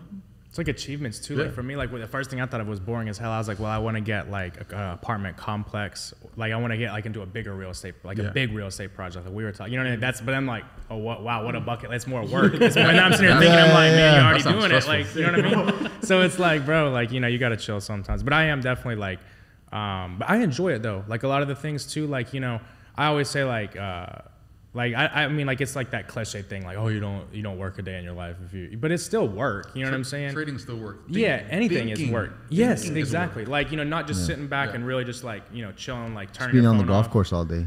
Yeah, something like that. Yeah, yeah, yeah. Man, I know like a lot of people that, that, that, that make a ton of money. They have this, they have that, they have, and like a lot of times like they're in their office like this is man, that's been me these last couple months. Bro. thinking because you know thinking takes a lot of power, a lot of energy. Like it's a lot of a brain power to even process all these things. So I think that's still a form of work in some kind of way. It might not seem like it, but for that person, it definitely is because they're delegating all these things. They're dealing with all these people. They're in like about twenty different conversations on their texts, like right now. You know, like Yeah. it's a lot. You know. Yeah, yeah, It's work. keeping up It's relationships, yeah, everything. Like that's another thing too. Like even managing a lot of people. Like I was, uh, I had a conversation with Umar recently actually, and and we were just talking about like you could have like a big team of people, and like at at a glance that can like you know you'd think it increases your leverage and your output and like decreases your time. But a lot of the time, unless they're like A players, like it's actually increasing your mental load because now you're having to like babysit and so you know what I mean and like manage these people Yeah. because that's just as much like effort. It's just like now your reach is further. Yes, your output is increased. You're, you're doing but double the work if you're not working with A plus people. 100 percent like because you're going over their work that they are supposed to be doing, but now you're ex- doing it correctly. Exactly. So like what I did, I, I look at everything and I'm like, okay, like what's your main goal like with the business you're doing, whatever. Like if could you know, do you see you being there with the same exact setup and people you are at, right or are at with right now? Okay, answer is Yeah. no. They need to go. You go through also like a cool exercise. Go through like any organization or team, whatever you have. Like you're gonna have like put an A, B, or a C on every like person in there, like where you'd rate them, right?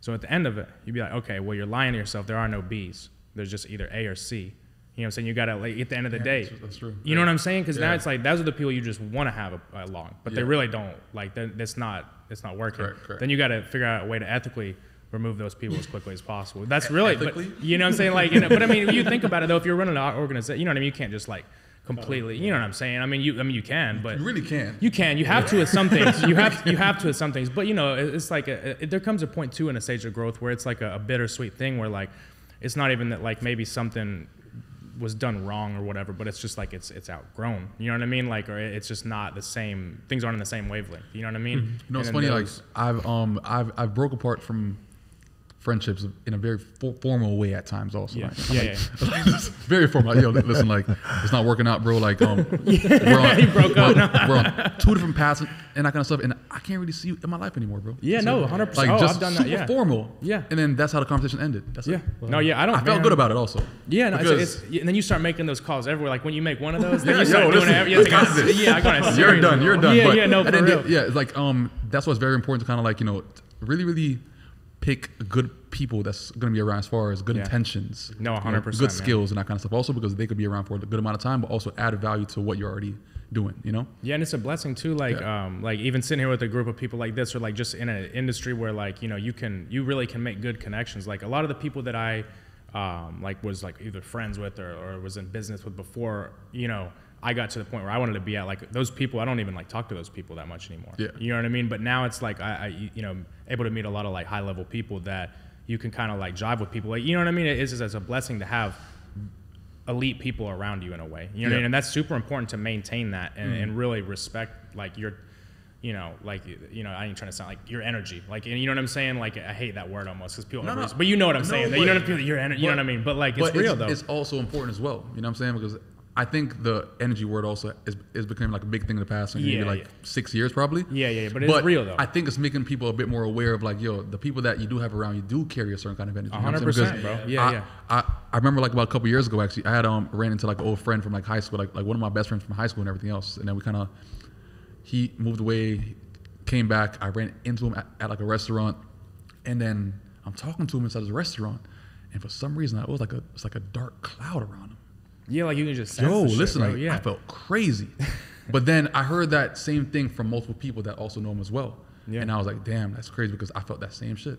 So energy is definitely real. It's it's it's, it's not it's not spoken about enough. Yeah, yeah, yeah. In that kind of way. in the right you know? way. People In- overplay it. Yeah, but, like, it, but it's a real thing though. It is. Yeah, yeah, yeah. No, Because- honestly, you don't have enough time to like be around people that have negative. No, bro. People No, that drain you, shouldn't. bro. You shouldn't. No, And- bro. and Life is if too you short. notice it, then Yeah, you gotta cut them off short. immediately. Yeah, and it's Yeah, like a form of like self disrespect, not to like a lot of people look at it like, oh, it's like the wrong thing to do because these people, you know, it's like you feel like you, fault. because like you know, a lot of like you know, you got good intentions for people most of the time. Like most of the people that I meet that are very successful, like people, there's like a stigma. Like I think a lot of people be like, oh, like you know, that dude's a shark. He fuck people. It's like most of the time I meet people, they want to make a good impact on people. So a lot of times they'll put themselves in positions like early on in the journey where they feel like they're obligated to like help people or not cut things off. You know what I mean? You got to get to that point where it's just like you, you're like it's not like uh, you're not taking care of yourself, Yeah. keeping the wrong company because The- that it's, Yeah, it's yeah. real. You know It what is, I mean? Like, that the, the people that consider people sharks and everything else, then clearly that that person just didn't have the mindset to even do the kind of work hundred that percent. person's in. A hundred So like they just they just aren't built for it. Yeah. You know, so obviously like any little hiccup or or that kind of thing, like all, all of a sudden they they feel offended. Like Yep. They feel like that person's a shark or like everything's personal and shit. of- Yeah, Yeah. yeah. I can't stand that shit. So not everybody's is built for entrepreneurship. Oh, You know no, I'm saying? definitely Because No, of man. course A lot of people are soft. Yeah. You know, Yeah. that's what it is. Going on to our final question, and this is a fun one I just randomly did on the uh, the last roundtable, and it was uh, an option. So you get two options.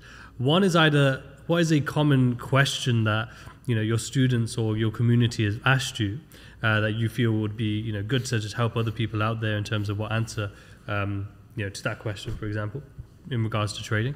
Or the other option is obviously we're in this community, we're, we're in this uh, you know industry together, and you may not get a chance to sort of ask a question to someone else here on the table. So if you had a question, whatever it may be, for someone else on the table um, that you were intrigued of an answer on, then you have those two options there. Th- That's only options. They're the two options. Yes. you can either ask someone else a question on the table, or you can, uh, you know, think of a, a question, a common question that you normally get from your community, um, and just sort of, you know, throw that out there as a, as a tip or, or something for, for traders out there. Um, I, I think like I mean, like my biggest tip that I always mention is like don't be scared to invest. You know what I'm saying? Like as you're making money or like as you're in the game of making money, always be open to actually reinvesting into other things to make you more money or to make you more knowledgeable on something. That's about it. Yeah. Yeah, because some people like they, they just don't reinvest. Like they don't spend money on that other person's product and that kind of stuff because they are more experienced at a certain thing. Like like for example, like I have that friend that pretty much is good at fundamentals. I bought his package. Mm-hmm. Yeah. Why? Because I'm not good at fundamentals. You are. Yeah. Here, take this. I'm learning. You know why not? Why not? You know, like if we're in a space that pretty much people are are good at certain things, Mm-hmm. why be scared to invest in uh, another person's thing just because now all of a sudden that person can say that you learned from them in some kind of way? Who, who gives a fuck? Right. Yeah. You People know, are so scared. Of, it's ego, man. All that matters is that you're learning that certain thing and then call it a day. You know what I'm saying? Like, so I'm not scared to invest in another person's product in, in any kind of way. Here, take this. You, you're, you're good at that. I'm not. Take it. Yeah. I don't care. I'm, I have no ego towards giving money away because I'm learning. I'm, I'm getting that value back in some Yeah. kind of way also. That's it. So, so, so overall, don't be scared to invest into um, education or another product that pretty much somebody might have that you might know, or even if that person is personal or like distant, that kind of stuff. Who cares? Invest. It's it's only gonna get you better in some kind of way, yeah. Okay. financially, mentally, spiritually, in some kind of way. Like you could actually gain something from that right there. You're gonna learn a lesson one way or Yeah. another. Yeah. Reinvest and keep on learning. Like stay a student of the game the entire time. I think that's pretty much like the biggest thing. Like stay, remain a student of the game. I think for me, one thing that I get asked a lot in the community is like, okay, well, if you were in my shoes, what would you do? And the very first step would be one is obviously get educated with the trading system. And what I mean by system is like, I'm not talking about just the trading plan itself. I'm not talking about like just technical analysis, but I'm talking about a whole entire system on how are you're going to journal your trades, how are you're going to analyze your trades, and then the act of trading itself. Are you going to be micromanaging your trades, or are you just going to be basically setting a take profit and a stop loss after you've entered position? So identify that first. Then go and start up your own live account. Try and find some form of consistency after you built a little bit of a track record for yourself. Maybe two, three months. Then that's when I would actually go for a prop firm challenge. Get the first funded account and get as many funded accounts as you possibly can. Once you have that blueprint of all these different funded accounts, get as many payouts as you possibly can on all of these different funded accounts and redirect half of that money into your own personal trading account and continue to trade that account alongside your own um, uh, or continue to trade that account alongside your funded accounts. So then that way everything is kind of compounding together. So not only are you making money off of trading but you're continuously investing into that trading account which is going to be your personal account from the funded accounts and then continue to reinvest in your own education and have other investments or start a business something along those lines so you just start building multiple different streams of income that essentially all started from just trading alone that's how i would do things if i were to start from zero again because nowadays you can leverage all these different prop firms. Doesn't matter if it's not on MetaTrader anymore, you adapt, you know, but that's essentially how I would start again from the beginning. And especially like if you already have the skill set built, it doesn't matter because I went from trading Forex to commodities to futures and indices alongside each other. And you're talking about like different years of progression of different, uh, of trading different asset classes, you know, and it really just comes along with once you have the skill set, you could really trade anything that you want. Definitely. So one thing that uh, a lot of people ask me that kind of irks me a lot is like they ask you, uh, what percentage can I expect to make out of this specific system? And essentially, there's no way that you can predict that or set goals around that because let's say if you fall short on a specific week or a specific month, now it's like it's kind of forcing you to like take more trades or take trades that are outside of that system. So I think when when it comes to goal setting and getting to where you want to be in trading, you have to set goals that are not so much performance related. Like they have to be process related. So whether that's uh, you know sticking to my rules every single week, journaling all my trades every single week, or sticking within a certain trade frequency every single week, those are the goals that you really should be hitting. And then let the returns take care of themselves. Because there's no way that I can come to the markets um, tomorrow or next week and say I'm going to make three percent this week or three R, whatever the case is. It's just whatever the market's going to give me is going to give me. So did I follow the rest of the checklist, right, in order to, to progress? I think that's where a lot of traders can actually start seeing results is setting goals that are not performance related. Yep. Yeah, no, I think a, a big one that I get asked all the time is like somebody will send a picture of something and they're like, "What did I do wrong here?" I'm like, well, "What makes you think, did, think you did something wrong?" They're like, "Well, because I lost." I'm like, well, you don't understand how this works because like just because you lost doesn't mean you necessarily did anything wrong. Like you can win and do something wrong at the end of the day. You know what I mean? So it's more or less like um, a lot of people. I, I after working with a lot of people, um, I firmly believe most people don't even understand like what winning and trading actually looks like. Like they understand yes, making money, but they don't understand that it's it's not any kind of certainty, right? And I always tell people, I'm like, if you're looking for certainty, kind of touching on what you said, like you need to go in a different field, right? Yeah. Like, because there's no guarantee here. There is no certainty, and if you look for certainty, you will be continuously disappointed, and you will continuously be on tilt, expecting something that no matter how good you get at this game, that you will never get. So that's that's definitely the most common one that irks me. Is I'm always just like, look, you can you can do everything right and still lose multiple times in a row mm-hmm. and and having trust in whatever it is that you're doing and understanding that you have you're going to go through those swings is really what's going to separate you from being able to make money long term rather than like have those big hits that you end up just losing so Definitely. Love that. Well, thank you all for being here today. And it's been an incredible roundtable. And I'm sure you know, people have taken away so much from this. So you know, thank you, Casper, Jacob, Lambo, and Cue Banks. Thank you for being here. Yeah, thanks for having me. No, it's our absolute pleasure. Now, everyone, make sure the links for everyone here will be in the description below. So make sure you check those out. There will be other episodes and past roundtables up on screen too. Hit subscribe, drop a comment with your biggest takeaway from this roundtable. And until next time, everyone, take care.